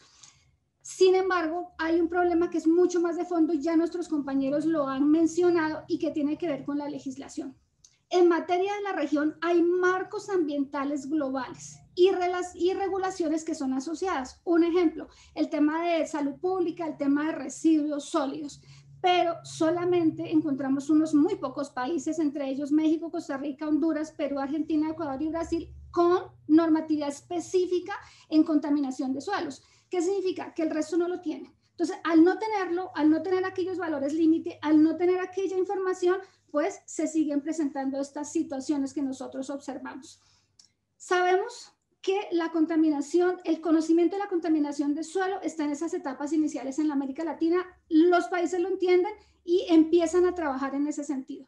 Algunos problemas de salud pública asociados a contaminación de suelo están siendo documentados, pero al no tener información de base, pues todavía no se sabe y eso lo mencionó muy bien Natalia en su exposición. También observamos que hay una situación es que el avance en conocimiento en la mayoría de estos países se hacen a nivel nacional y se derivan de proyectos financiados por instituciones internacionales como la FAO. En este sentido, ¿qué ocurre? Falta todavía un compromiso mucho más fuerte en promover proyectos locales en este campo y regionales con el fin de tender realmente a un ejercicio y a una solución a este problema, porque como muy bien se mencionó, donde el suelo no se proteja, donde el suelo no deje de contaminarse, estamos expuestos a una extinción como especie. Entonces hay que tener mucho cuidado en ese sentido. Por eso es importante establecer eh, aquellos valores límite regionales, globales, para diferentes temas de contaminantes de suelo, límites para sustancias químicas específicas, monitoreo permanente y monitoreo utilizando tecnología en ese sentido que sea muy rápida, que podamos verlo en tiempo real y generar indicadores internacionales para científicos, para generadores de política pública que realmente puedan combatir la polución, la polución y que esos vacíos de información sean llenados allí. También necesitamos en la región el apoyo en temas de información, tecnología, inversión en, en, maquinaria y en equipos y tecnología para remediar la contaminación del suelo en América Latina y el Caribe. Queremos hacerlo, estamos dispuestos y eh, pues este era un mensaje que quería brindarles con el fin de poder trabajar juntos en este sentido. Nuevamente, muchísimas gracias. Muchas gracias, Rosalina. Excelente presentación. Déjame recordar a los participantes que todas las presentaciones, los documentos, el vídeo estará disponible online eh, en el sitio que nuestros colegas nos va a hacer llegar por el chat. Uh, let me invite now uh, our dear Talal Darwish from Remote Sensing Center in Lebanon uh, to give us the status of soil pollution near East and North Africa. Dr. Darwish, dear Talal. You have the floor. I can't see you. Is there a problem with the connection with Talal?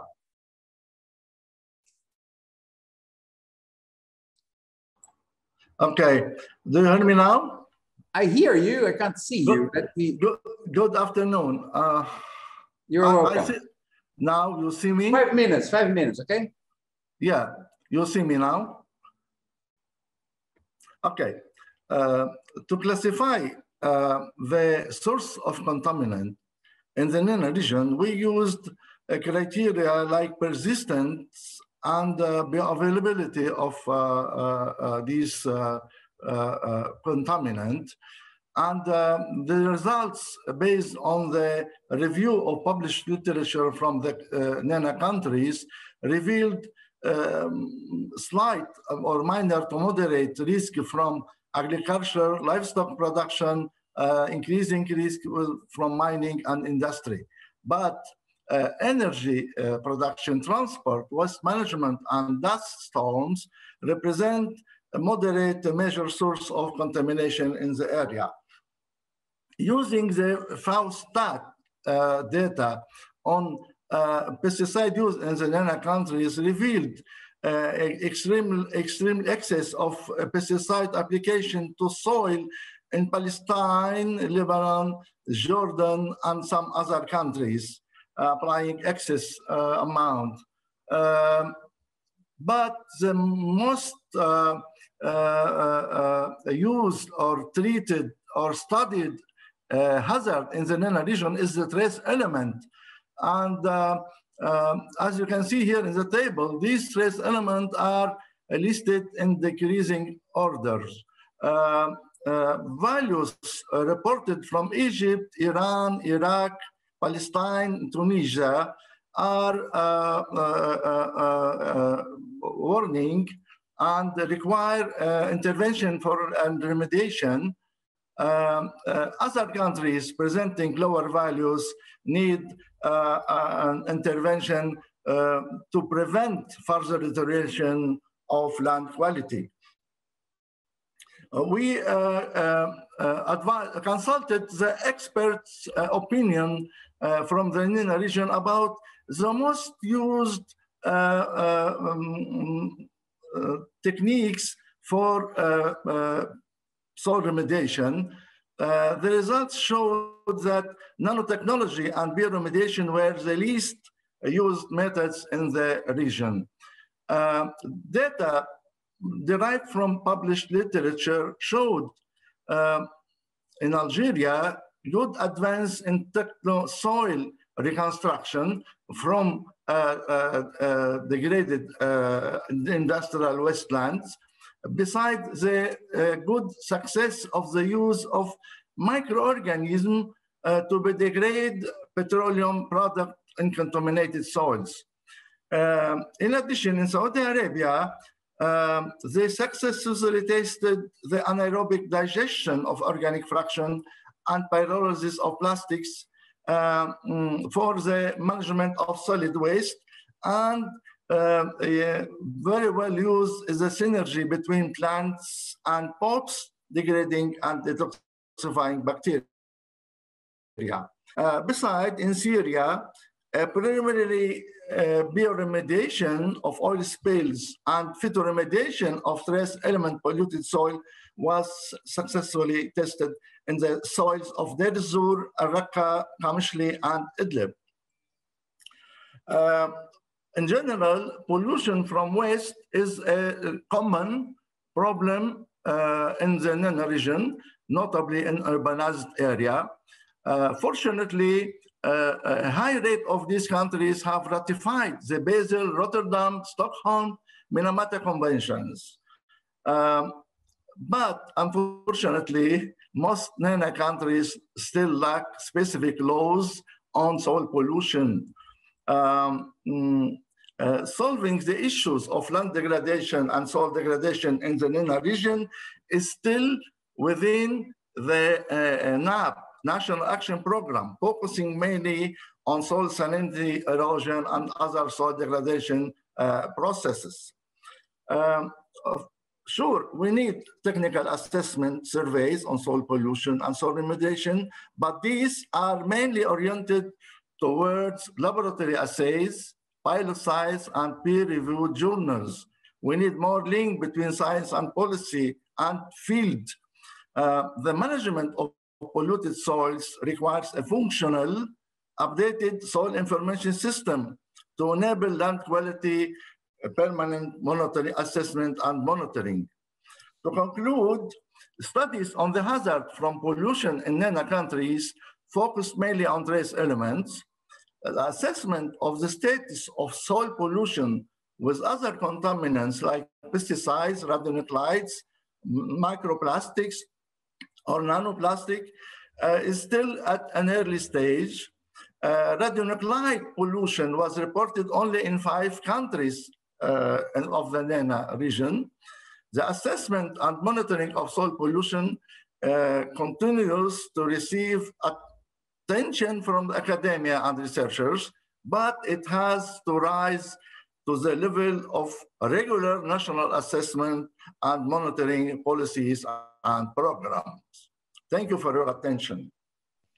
Thank you, Talal. Thank you particularly for being so sharp into the time. Nice presentation, which you'll be happy to share. And you will Thank notice you. that uh, we are learning here that soil pollution is a global problem uh, from different regions. Let's look at the North American case. I invite uh, Dr. Jeffrey Simmering from University of Wisconsin. Uh, Jeffrey, are you here with us? Yes, I can I, see you there. I am. The floor is yours. Thank you. Um, yeah, the status of soil pollution in North America can be summed up by the statement big countries plus big economies equal big soil pollution problems. Uh, in the United States, one third of the population lives within five kilometers of a contaminated soil brownfield site. And in the state of Colorado, there are 23,000 abandoned mines. Similarly, in Canada, there are 23,000 federally owned contaminated sites alone. However, no single information source tracks polluted land on a national scale in either country. Both countries do realize this is a significant data gap that impedes soil remediation. Where we are making progress is in mapping geogenic sources of soil pollution. Uh, the United States Geologic Survey has developed a mineral atlas which shows background soil elemental levels throughout the continental United States. On the left is soil lead, on the right is soil arsenic, and they have many other elements as well.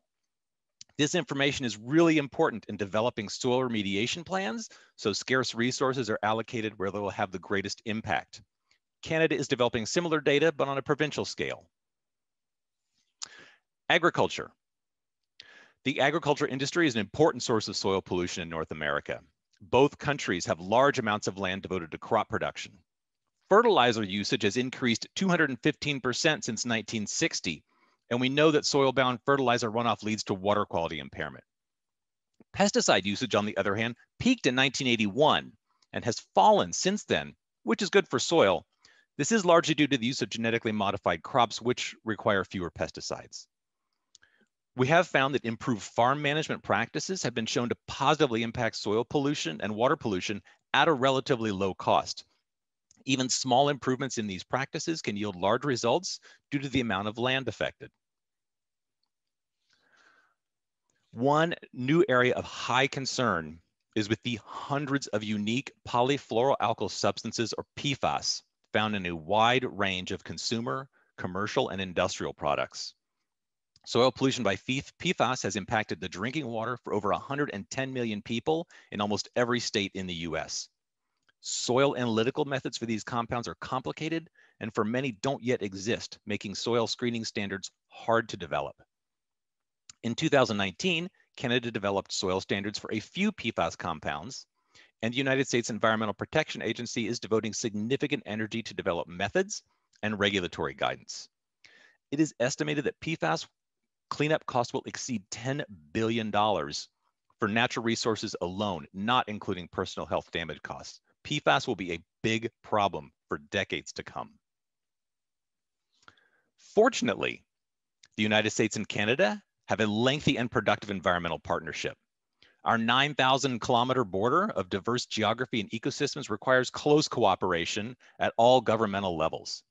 The two federal governments have over 40 agreements and the states and provinces over 100 additional agreements, which help provide a uniform framework for managing soil pollution. Now, much of the news about soil pollution is negative. I'd like to share a little bit of good news. As someone who researches soil health soil-lead health impacts, I find it encouraging that over the past 40 years, the percentage of US children whose blood lead levels exceeded the 10 microgram per deciliter poisoning standard decreased from 88 to less than 1%. Reducing soil lead contamination and exposure to contaminated soil has played an important role in this reduction and proves that concentrated effort to address soil pollution can have concrete health impacts. Thank you.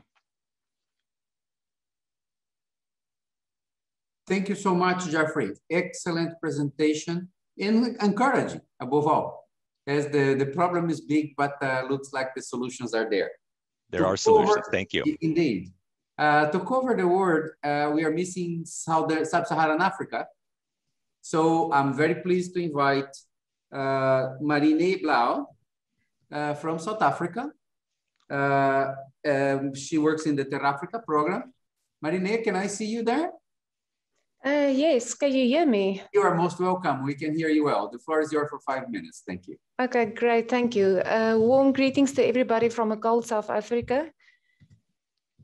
Um, okay, so the region that I looked at as 48 countries, and it's divided in five different sub-regions based on the geographical position. I, I think the one characteristic that will summarize a lot of the contamination or the risk that soil contamination has is the rapid population growth that the region has seen. Um, it went from 227 million in 1960 to 1.8 billion in 2018. And a recent, a recent Lancet report in um, October last year said that some of the countries are predicted to have a doubling or a tripling or even an eightfold increase in um, population numbers until 21,000. Um, apart from that, there is the scary thing that the region's disease burden has always come from infectious diseases. But the risk of non-communicable diseases are growing, especially cancer and um, respiratory related diseases. And some of the carcinogens identified already is, um, has been identified as main soil contaminants in the region. Um, to date, no large-scale assessment of regional soil pollution has been done. Um, small areas, um, uh, research-based reports, but no report that shows extensive areas, the size of pollution plumes, and the mixture of contaminants that are present. Um, so the, the, the, work that was done was based largely on literature reviews of um, academic reports, um, programs, also work that's been done by NGOs on addressing soil pollution. And from all this data, mining is regarded as the most significant source of soil pollution in the region, followed by, by waste management, industrial activities, agriculture, and oil extraction. Looking at the main contaminants in the, region, in the region, um, trace elements by far has been mentioned in research as, as the biggest contaminant. This is followed by hydrocarbons and polychlorinated biphenyls. I just want to emphasize that just because trace elements were flagged so high and mining as the main industry doesn't mean these other pollutants doesn't exist in the region. It's just that the research is very limited on this. Okay, so just looking at the main culprit according to the research, um, minerals, Africa has the largest mineral industry in the world. And we're blessed with so many resources ranging from gold, diamonds, um, cobalt, copper, um, most of these which are extracted and um, exported to other regions in the world. The mining industry in Africa can be divided into two different sectors. Um, there's the large scale mines operated by mining companies, um, where the entire process can lead to soil contamination from the dust fallout coming from tailings facilities, the processing of ore at smelters, the waste storage facilities, as well as the dust suppression on all roads where they use other compounds in the water to try and suppress the dust. There's also the issue of acid mine drainage, um, especially associated with gold mining activities that lower soil pH and increase the risk of um, trace element mobility. Then the small and artisanal mining, which is a contributor to a large part of 23 at least of the regional countries' economies. The two main soil contaminants identified here for the extraction of gold is mercury, and cyanide is also now being used in some countries such as the United Republic of Tanzania, Zimbabwe, and Burkina Faso. Um, uh, following the toxic sites investigation investigation program by which sites can be registered as contaminated. Um, mercury has already been registered for 75 sites in sub-Saharan Africa, and it's been estimated that it might affect the health of 2.4 million people. Um, there's also reports um, on oil spills. Um, the most reports comes from Nigeria, um, where more than 4,000 oil spills have been reported since 1960 uh, or between 1960 and 2010. And then Angola has also started to report some reports on oil spills, especially for the provinces of Cabinda and Zaire since 2009. Then looking at another significant um, contributor to, to soil pollution, which I think is a, is a growing risk, and that is the, the, the, the shift in waste as a pollution, a source of soil pollution as a result of urbanization in the region. So a massive urbanization um, trend um, from 567 million people in 2015 to 950 million people predicted um, to live in urban areas in 2050. And this is accompanied by a massive increase in municipal solid waste from um, what was 80, 81 million tons to a predicted 244 million tons in 2025. Now, the current recycling rate of municipal solid waste in the region is 4%. Um, most of the waste ends up on open waste sites where it's burned without prior sorting.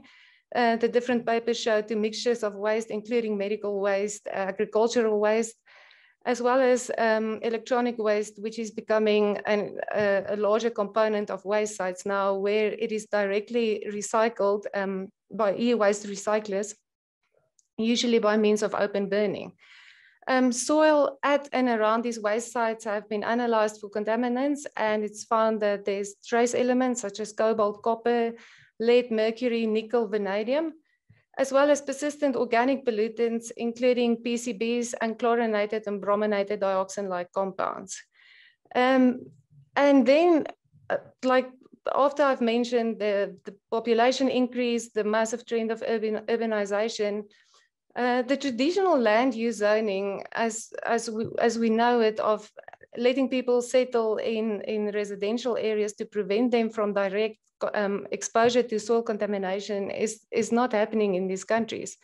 As people rush to the cities in, uh, to find jobs or opportunities working on mines and in industrial areas, they settle very closely to these areas, sometimes between the activities. And this increases the human health risk that's associated by the soil contamination. Then looking at the steps that's already been done to address um, soil pollution in the region, um, as mentioned by earlier speakers, there's the international conventions. Uh, while some countries have embraced all of these or signed them, um, there was a lesser adoption of the Minamata Convention to prevent mercury emissions, um, perhaps because some countries know that um, mercury is used for the extraction of gold by artisanal miners and that it contributes a large part to their economies.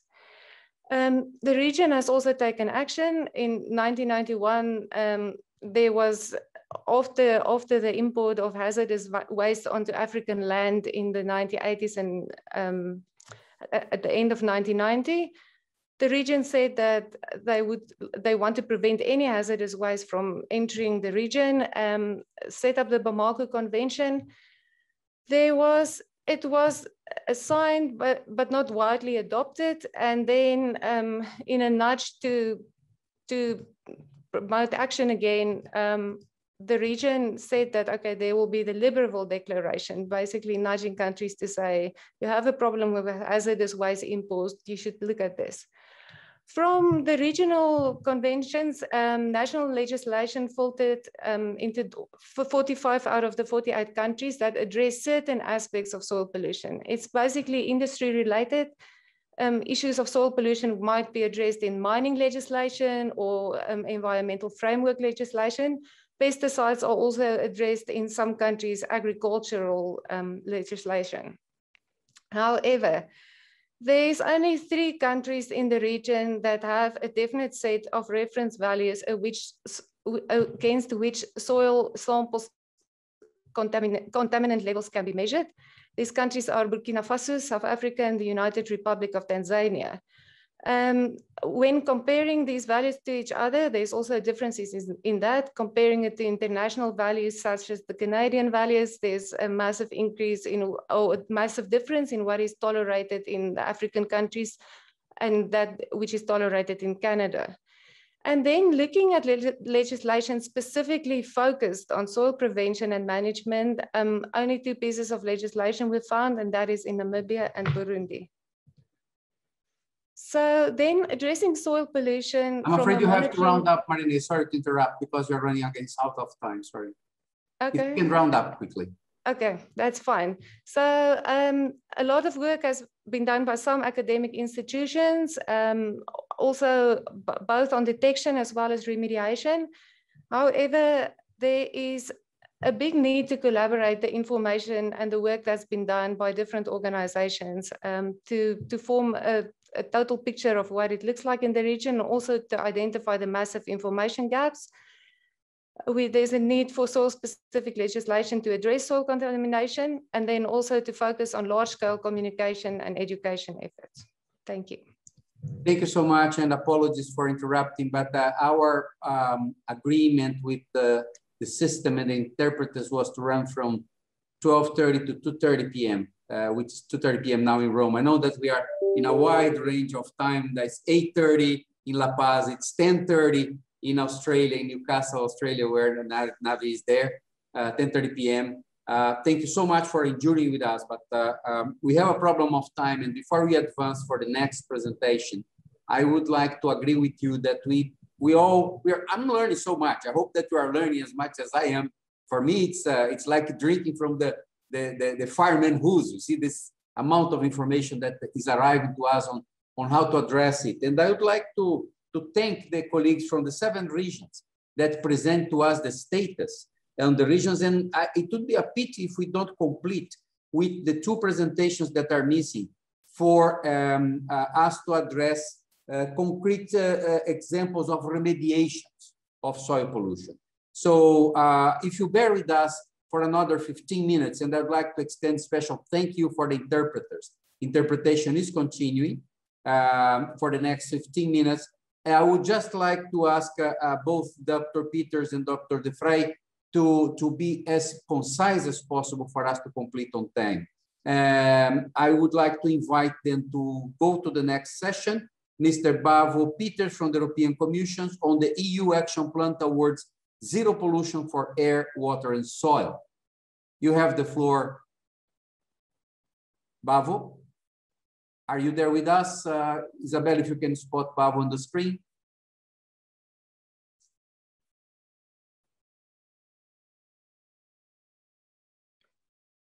Dear Eduardo, it seems that Bavo have problems with connections because he was here before, but he's not now. So maybe we can move with the next speaker. Ah, thank you. Thank you very much. So why don't we do this while Bavo reconnects? Let's go for Johan de Frey, uh, chair of the NICOLE network. He will explain to you, to us what NICOLE's evolution is a multi-stakeholder network in tackling industrial soil contamination. Uh, Johan. Hi, good uh, afternoon or good morning and or good evening, wherever you are. Thank you uh, for introducing me. Um, I'll speak as concise as I can, as I can uh, to talk a little bit about our network's evolution as a multi-stakeholder network uh, tackling industrial soil pollution. So maybe start with briefly what, what is NICOLE. Um, it's, an, it's a network of uh, three types of members, academia, so we have different universities as members, industry, uh, mostly multinationals, and then consultants who work in the field of uh, contaminated land and groundwater. And so it's a professional network of those individuals that work in the contaminated land space.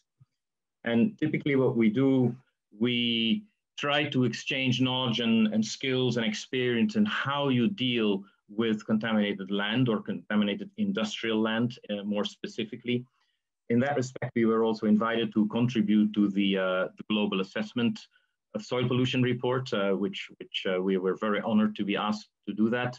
We have working groups that you know tackle particular topics such as mercury or asbestos in soil and so forth, as you would imagine. And we try to convene twice a year uh, these days, obviously mostly virtually, um, to exchange and have and have that our individuals uh, meet each other. I think it's, uh, or the, the topic at hand here for, for us was to share a little bit how we, from our inception in 1996, evolved over the years in terms of, of focus. And initially, as is or was the case in, in, in a lot of jurisdictions, we focused primarily on the regulatory compliance, making sure that we clean up against uh, given standards and concentrations that you need to achieve, obviously based on science and, and, and, and factual information but we rapidly saw, and again, this is an evolution that you see in other regions as well, is that it is very hard to clean up land up to pristine original conditions. So the concept of risk-based remediation came to the fore, and I'll, I have one slide on, on to dwell on it a little bit. We've moved on from there to sustainable remediation and including, in fact, in, in remedial approach, the concept of sustainability. And these days, we're even going a step further where we introduce the concept of land stewardship, which is a fairly new concept. It's not an easy concept. And again, I'll, I'll dwell uh, briefly on it. So risk-based remediation, it's been mentioned by, by some of the previous speakers. It's really looking at three components, having the source of pollution, the pathway, which could be airborne, could be dust, could be through water transportation, and ultimately it reaches a receptor who could be a human receptor um, a, a, protected area, could be groundwater that is used for drinking water purposes. So that is defined by the local circumstances. And um, in essence, it really means that you acknowledge that total removal, as I said, of pollution is often not possible, physically not possible. Often there's also a financial component to it, but often it is physically because of the age, the distribution, the depth, it's just impossible. So risk-based remediation is these days the core approach to handling pollution um, of an industrial site. We've moved on from there, as I mentioned, and we've introduced uh, sustainability concepts. It's not widely applied, but there are some good examples of, of organizations that have applied it or are applying it, where you, as, as most of you know, you not only look at the environmental aspect or the technical solution, but you include social and economic factors. And really the, the, the, the, the crux of sustainable remediation revolves around how you communicate with relevant stakeholders. So not only the owner operator and, and the regulator, if you like, but also, also tenants, uh, neighbors, uh, residential areas in the neighborhood and so forth. And you bring them all into the, into the conversation and discuss upfront um, how you will tackle remediation and you and you need to do it upfront to make sure that you get buy-in, you get everybody's concerns on the table, and only then will you decide how you remediate and what your technical solution is. we have a whole uh, uh, framework that we've developed. I invite you to go to our website. Uh, the link is in, in one of the previous slides. I won't dwell on it, but it, it, describes in detail how you incorporate sustainability thinking in a remedial approach. The London Olympics in 2012 were actually the most impressive example of applying sustainability to cleanup and redevelopment of land. I won't dwell on it. If you Google it, there are numerous articles and publications that uh, explain it. But it was quite an impressive and early demonstration of if you if you set it as an ambition, it's actually achievable. It was very impressive as an outcome. And mind you, the Olympic Park these days is not a white elephant. It is still being used. A lot of the buildings that were supposedly recyclable and, demolish and demolishable, if that's an English word, um, are still in use. So all of the, the, the concept of circularity was, was introduced um, almost as a hindsight in, uh, in reusing the Olympic site. Last slide, um, current and future developments of the NICOLE network. So I mentioned land stewardship. We have a publication in 2019 where we explain the concept. And it really is introducing the idea of circularity in managing land and valuing land and soil, if you like, for their, their intrinsic um, values that they bring. Um, we try to apply it to industrial land, which is not easy. In particular, it's difficult when you have an industrial occupation spanning several decades with all the related pollution that goes with it. But we do believe that with creativity, and when you do need to hand it over and you've been a good steward of your land, that there are ways of, of renewing the land and, and making it useful for a next purpose, whatever that might be. Um, we're also looking at liability transfer, environmental liability transfer of contaminated land in Europe and how that works, what different jurisdictions uh, provide or don't provide. Often it's very difficult to transfer a liability. Obviously, the pollution, the polluter pays principle applies. Um, and so handing over liability is, is, is a difficult and, and very tricky concept but we, we thought it would be useful to uh, look at experiences and on how it's possible or not possible and, and how it's been handled in, in different uh, countries in Europe. And then uh, last two points, given that we are 25 years old, um, we are also thinking about what could be the next 25 years, what new can we bring to Europe and the world, if you like. And we're looking at establishing a foundation that actually harnesses the skills of the collective membership that we have. And if you look at the environmental world, we're, we're seeing in, in our own network and elsewhere that the first full-time 40 or 50 years um, of full-time practicing of environmental solutions, that first generation is retiring, but is still very active and obviously has an enormous amount of experience and skills that they can reuse and they are willing to reuse. So again, it's something we're exploring um, and we're making good headway there. And then finally, I'm happy to share that we also have some spin-offs uh, from members that are active in those regions in uh, Latin America and Africa. And so we have a growing interaction with those regions in terms of sharing experience, skill sets, and what have you. And with that, uh, Mr. Chairman, I will conclude. Thank you very much. Thank you. Thank you very much, uh, Johan. It, even in the chat, people are already asking for your email, so I can see it there nansunicole.org. Strong interest. Congratulations for the good work. Let's see if Bavo connected. Bavo, are you there? I'm here. Good. Uh, so if you can shorten up your presentation as we are over time now. Yeah, I will try. Thank you, Eduardo. Uh, good afternoon, everybody. Uh, I would like to bring the Zero Pollution Action Plan for Air, Water and Soil to your attention today. Uh, this plan was launched three weeks ago by the European Commission, and it's an important uh, building block of the European Green Deal. As you might know, the Green Deal is our strategy to make the EU uh, more sustainable and climate neutral. Now, why do we, do we need to act? Uh, it's already been said uh, several times. Um, our human health is closely connected to the health of our planet. Uh, currently in the EU, one in eight deaths uh, is linked to pollution and then especially air pollution. 90% uh, of these deaths are due to chronic, chronic diseases, of which cancer is the most frequent one.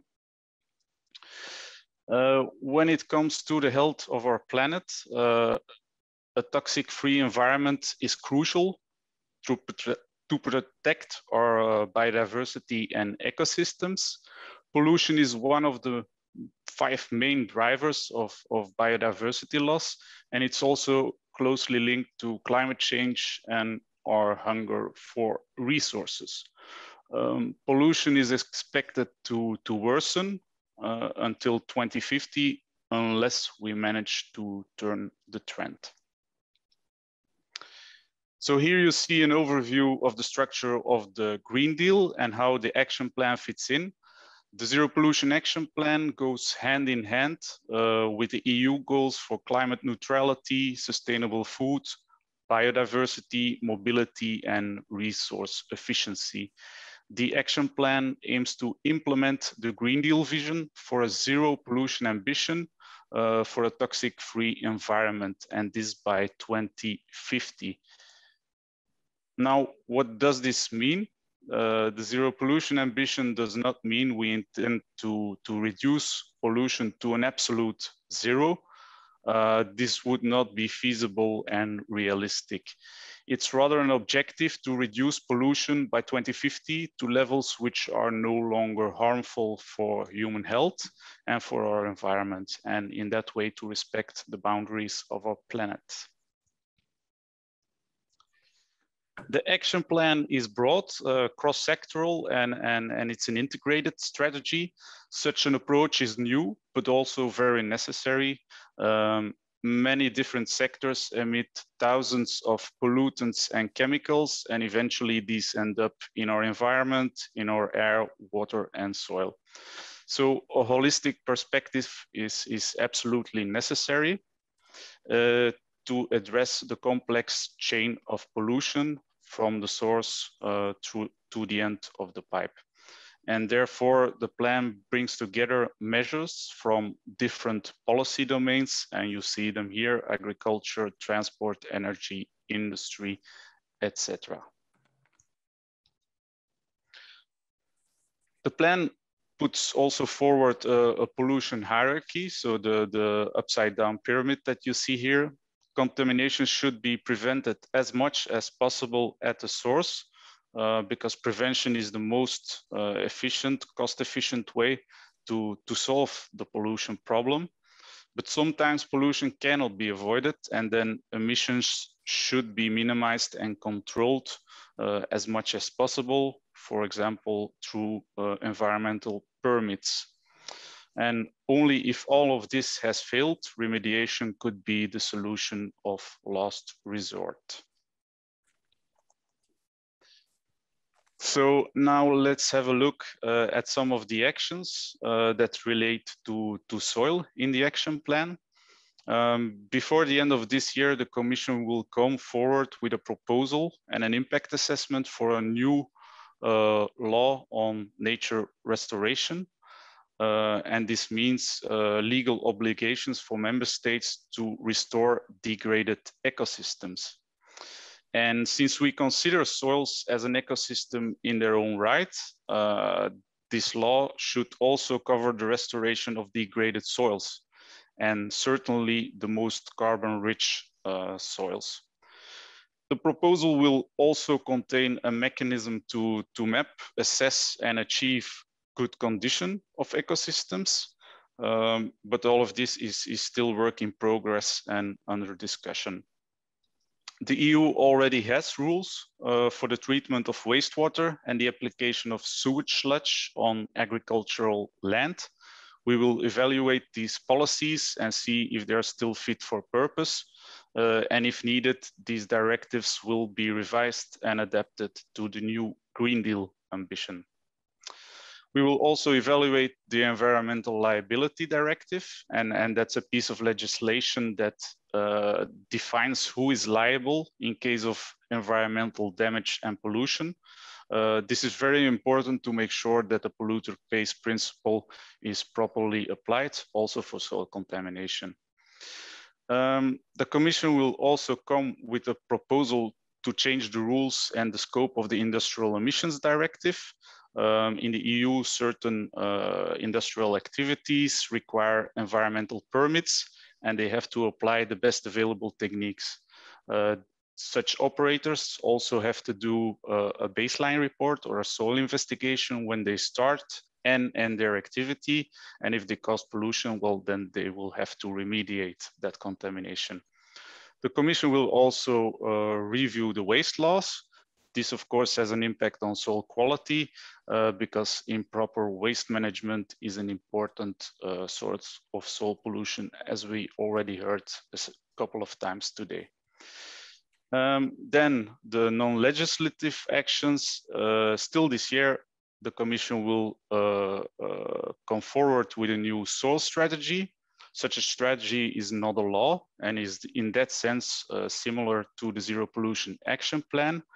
Um, the common denominator between uh, the soil strategy and Zero Pollution Action Plan is soil pollution but the soil strategy will also address all other soil threats, you know, such as erosion, uh, organic matter decline, etc.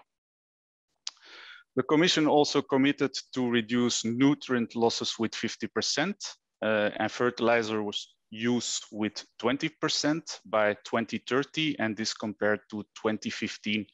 And to achieve these targets, the Commission will uh, propose or adopt an integrated nutrient management action plan. Um, there's also an action on excavated soils. Uh, some countries in the EU already have a system in place to check and track the quality of excavated soil. Um, this is important to separate the clean soil from the contaminated soil and to prevent that uh, excavated soil can cause secondary contamination somewhere else. Uh, we will look at the good examples that are available and provide guidelines to track the quality and the transport of excavated soils, for example, through a, a soil passport. The EU will also establish a oh, list. Sorry to interrupt. Please wrap up as we are over yeah. time. Okay. Um, so we will also develop a list uh, for soil contaminants, contaminants of very high concern, um, we will also include additional pollution parameters in our LUCAS soil survey. And we have a, a research uh, program on soil, uh, specifically dedicated to soil, including on soil pollution. So uh, if you want to read more and have a complete overview, you can uh, click on this link and read the full plan. It's available in all languages of the EU Thank you very much. Thank you. Thank you so much. And uh, I think uh, we had a lot with uh, all the presentations that we had today. I was telling you that I learned a lot, but my colleagues of the, the Global Soil Partnership and the UNEP that are participating here with us, and I recognize Abdelkader's uh, strong work with Natalia uh, on uh, organizing the, the event and preparation of the report. They want to know if we really learn it. So uh, they want to launch a quiz. There was some debate what a quiz is, what the prize is. Let's see what it is. Isabel, are you ready to launch the first question for the quiz? We will all be able to participate online. You just have to click on the answer that will come on your screen with the questions that will come on your screen. So Isabel Verbeke from the, the Global Soil Partnership is going to help us with the global assessment of soil pollution quiz. The floor is yours. Many thanks, Eduardo. Uh, first, how to access the quiz. So you can either click on the link um, my colleague is right now posting uh, on the chat or search for menti.com and insert the code shown on the screen. Okay. Um, I suggest you use your smartphone so you can see the leaderboard that will be shown on this screen. So let's start now and assess um, um, whether you've been following the keynote presentation and how much you've learned. We will start now with a warm-up question, why all participants are connecting. So this question uh, is not part of the quiz, but is a question addressed to all of you, participants from so many countries. So uh, is soil pollution an issue in your country? Okay, I think uh, there is no doubt um, number are speaking by themselves, and this is this is a real issue. So we will now start uh, our quiz with the first question. Please put in your first name and last name so we know who the winners are. And be ready to answer quickly as the first 10 winner will receive the soil kit composed of shopper, gadgets, and the global assessment of soil pollution summary for policymaker. Already? Let's go. With the question one. What percentage of the world soils is affected by pollution? A, about 32% of global soils are polluted. B, only industrial soils are polluted. C, there are major knowledge gaps and we do not know in detail the extent and degree of pollution affecting the world soils. And D, we are only aware of 16% of polluted soils.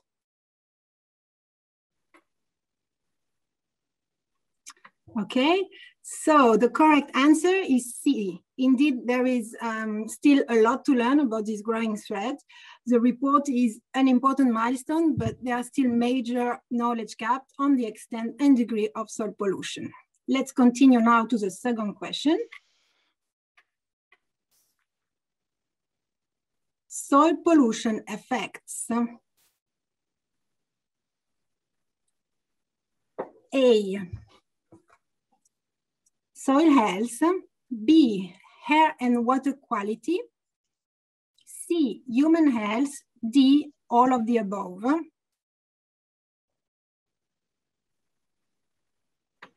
A few more seconds.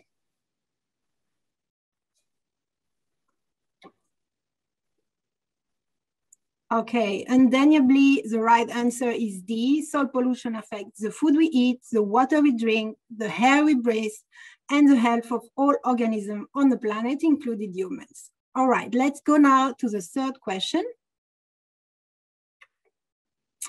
What is the main source of soil pollution? As identified in, in the report that was just launched. A, industrial activities and mining. B, unsustainable agriculture. C, geogenic source. D, war and military activities. E, improper waste management. A few more seconds to go.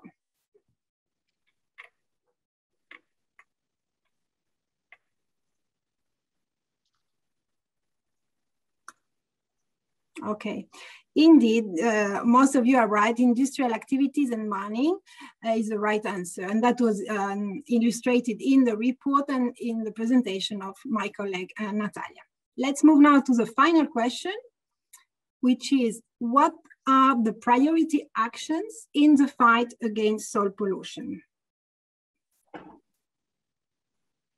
A, preventive measures, starting with education and awareness raising. B, strict legislation at national level.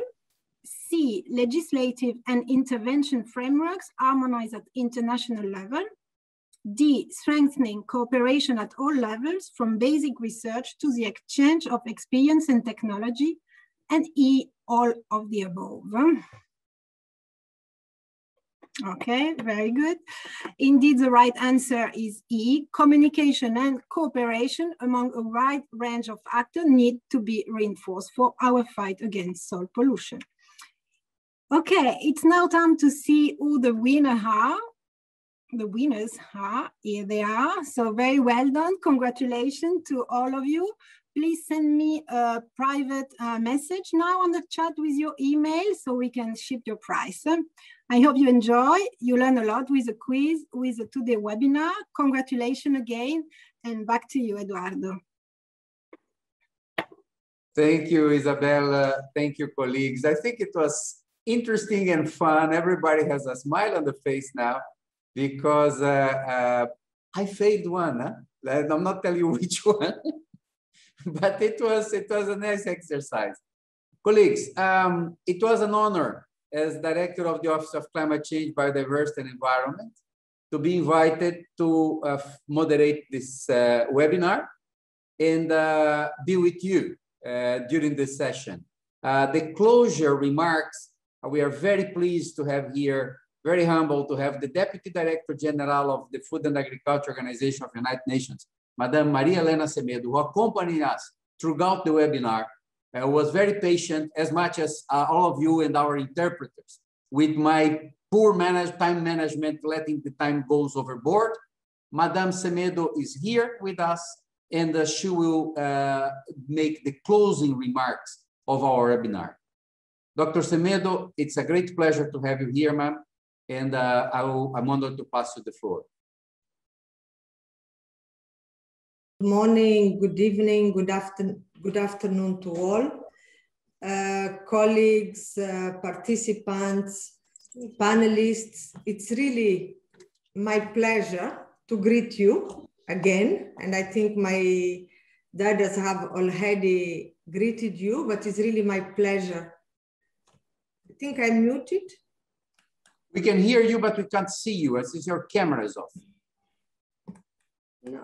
This is the CFS 48 session. I think you've got the wrong link. We no, can, but I can't follow you. We can hear you, but we can't see you. Okay. Is your, is your camera that is... Okay, let ah. me disconnect. Let me see. We can hear you well. Uh, okay. But I don't know what is going on. Murphy's Law, it always strikes in the meetings. We can uh, hear you perfectly, ma'am. It's probably... We can also see you. Yes, but this is the this is the link to the 48th session of the CFS. Just carry on. Some can see you, some can hear you, and some can see you and hear you. We are out of time, maybe, uh, but it's very strange because I can see you all. It's only your camera that's not operating, but your audio is perfect. Okay, give me just a moment. Or I move without the, the camera? Well, some can see you very well. I can see you very well. Anna Maria, can you come here? I can see you clearly too. You, you are on the CFS. yes. I don't know what is, my camera is on the CFS. Yes. I think you're in the link, in the CFS link. No, but how can you hear me? We can hear you. We can hear you perfectly. Look, every every meeting is a surprise. I mean, how, how we, a person... We, we can, can hear you perfectly well. What do you want? Even in Australia. No, I'm here. No, so, no, and you open these. Look, you open this one. No, because they can hear me. Boh. Anna Maria, questo è il CFS. Eh sì, Silvia, chiudiamo. No, chiudi tu.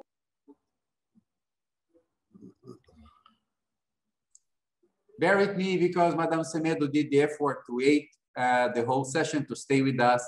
She would like to greet us before we close. And uh, there is this connection program. So this, uh, this is gonna come up. Uh, I wish we had more, more quiz uh, to make because it was really fun to, to go to the questions. And uh, I would like to thank the organizers and the interpreters for being with us beyond the time um, uh, and making sure that uh, we could uh, go throughout the webinar.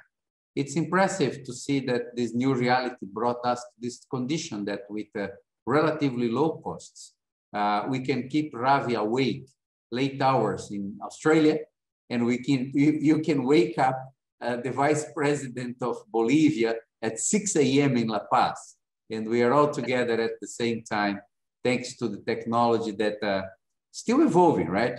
We are still learning how to use it.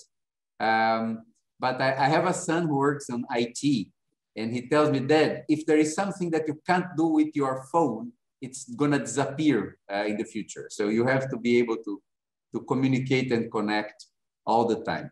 Let's, let me see if we can get Madame Semedo back. There she is, connecting now with video and audio. Madame, we are very pleased to have you back. Uh, you can activate your microphone now. We have your image, but we don't have your mic. It's muted. Okay. Now it's full. The floor is yours. Thank you, thank you so much. I don't know what happened, but uh, okay, it was a good way to, to close the meeting.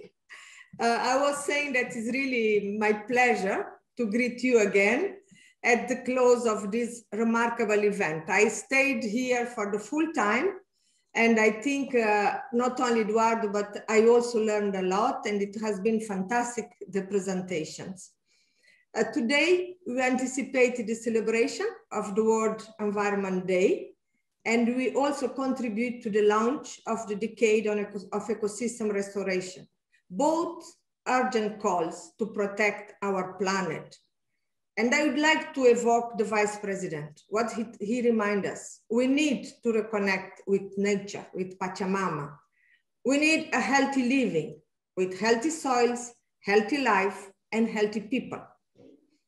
Dear participants, as stated in the resolution establishing the UN Decade on Ecosystem Restoration, we need to prevent, halt, and reverse the degradation of ecosystems worldwide, as degraded ecosystems affect 40% of the world's population, aggravating poverty and food insecurity. This new report provides undeniable evidence that protecting our soils from degradation and reducing soil pollution is more essential than ever.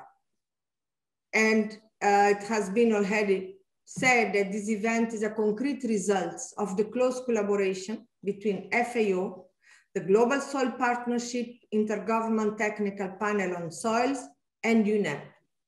And it was only possible thanks to the strong engagement of our members to promote sustainable soil management.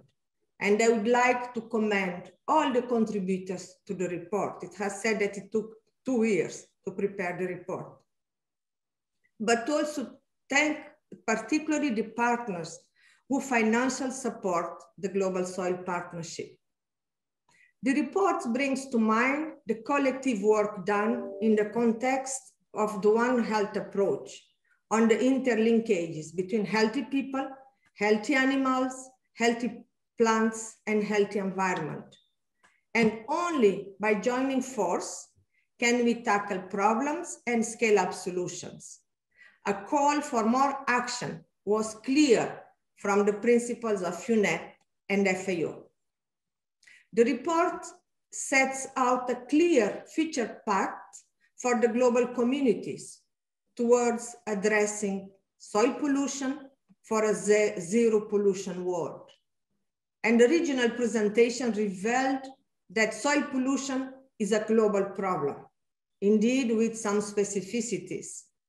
Our colleague from WHO reminds us that everybody is affected by pollution, starting from our food. And let me recall the message from Inger. We need to stop soil pollution we need to reverse the damage. We need stronger enforcement and we need to make sure that science travels. And she called our attention that more than politicians, the report needs to reach the smallholder farmers. But we also need to invest in advocacy and awareness raising so that soil pollution is no longer a hidden reality.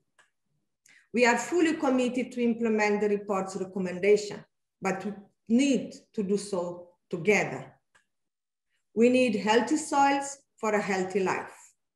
You can count on FAO's Global Soil Partnership to facilitate the implementation of the zero soil pollution agenda. I would like to thank the organizers and Eduardo Mansur for, for, for facilitating the event. Let's all join forces and be the solution to soil pollution. I would like to conclude by wishing you all a happy Environment Day to reimagine, recreate, and restore ecosystems. Thank you again for your enthusiastic participation and commit commitment, and I wish you a happy Environment Day tomorrow. Thank you, Eduardo. Over to you. Thank you, madam. I think you deserve a round of applause. Virtual All applause of you. at that stage. and uh, also for our speakers, our audience, our interpreters, and the organizers. For the authors of the report, our congratulations. The webinar is over, but the, all the information is on, on the website. The link has been provided. It will be provided again uh, in the chat for you to make sure that uh, uh, you access and let's continue this dialogue. Once again, thank you very much for every single one of you. On behalf of FAO and UNEP, uh, we thank you for participating and we wish you a wonderful World Environment Day and a nice weekend ahead. All the best, everyone. All the best. Thank you. Thank you. Thank you, Eduardo. Great chairmanship. Bye. Thank you. Thank you all. Thank you very much. Por otra parte tenemos. Eh... Natalia, lo hiciste. Thank you. Thank you to everybody. Thank, Thank you, you very much. Saludos. Greetings to Nairobi. Natalia. Gracias. Obrigado. Thank you. Thank you for the great job and collaboration. Wonderful example of, uh, of collaboration between two UN sisters. Excellent. Thank you. Yes, we have to be one UN, right? Exactly. Thanks, Eduardo. Have Thank a good weekend, all. everybody. Thank you to the colleagues of Global Soil Partnership. Great job. Bye-bye now. Bye. Bye-bye. Ravi, thanks for being awake until now. What's it, 11 p.m. there? Ah, it's 11 p.m. now. It's a great, um, great launch, and you did a fantastic job, of course, Natalia, for leadership. Thanks so much. Hopefully, see you. Também bom dia para os colegas que estão no Brasil. Eu ouvi muitos dos meus colegas there. I'm Brazilian, so let me grab the chance to greet my fellow citizens over there.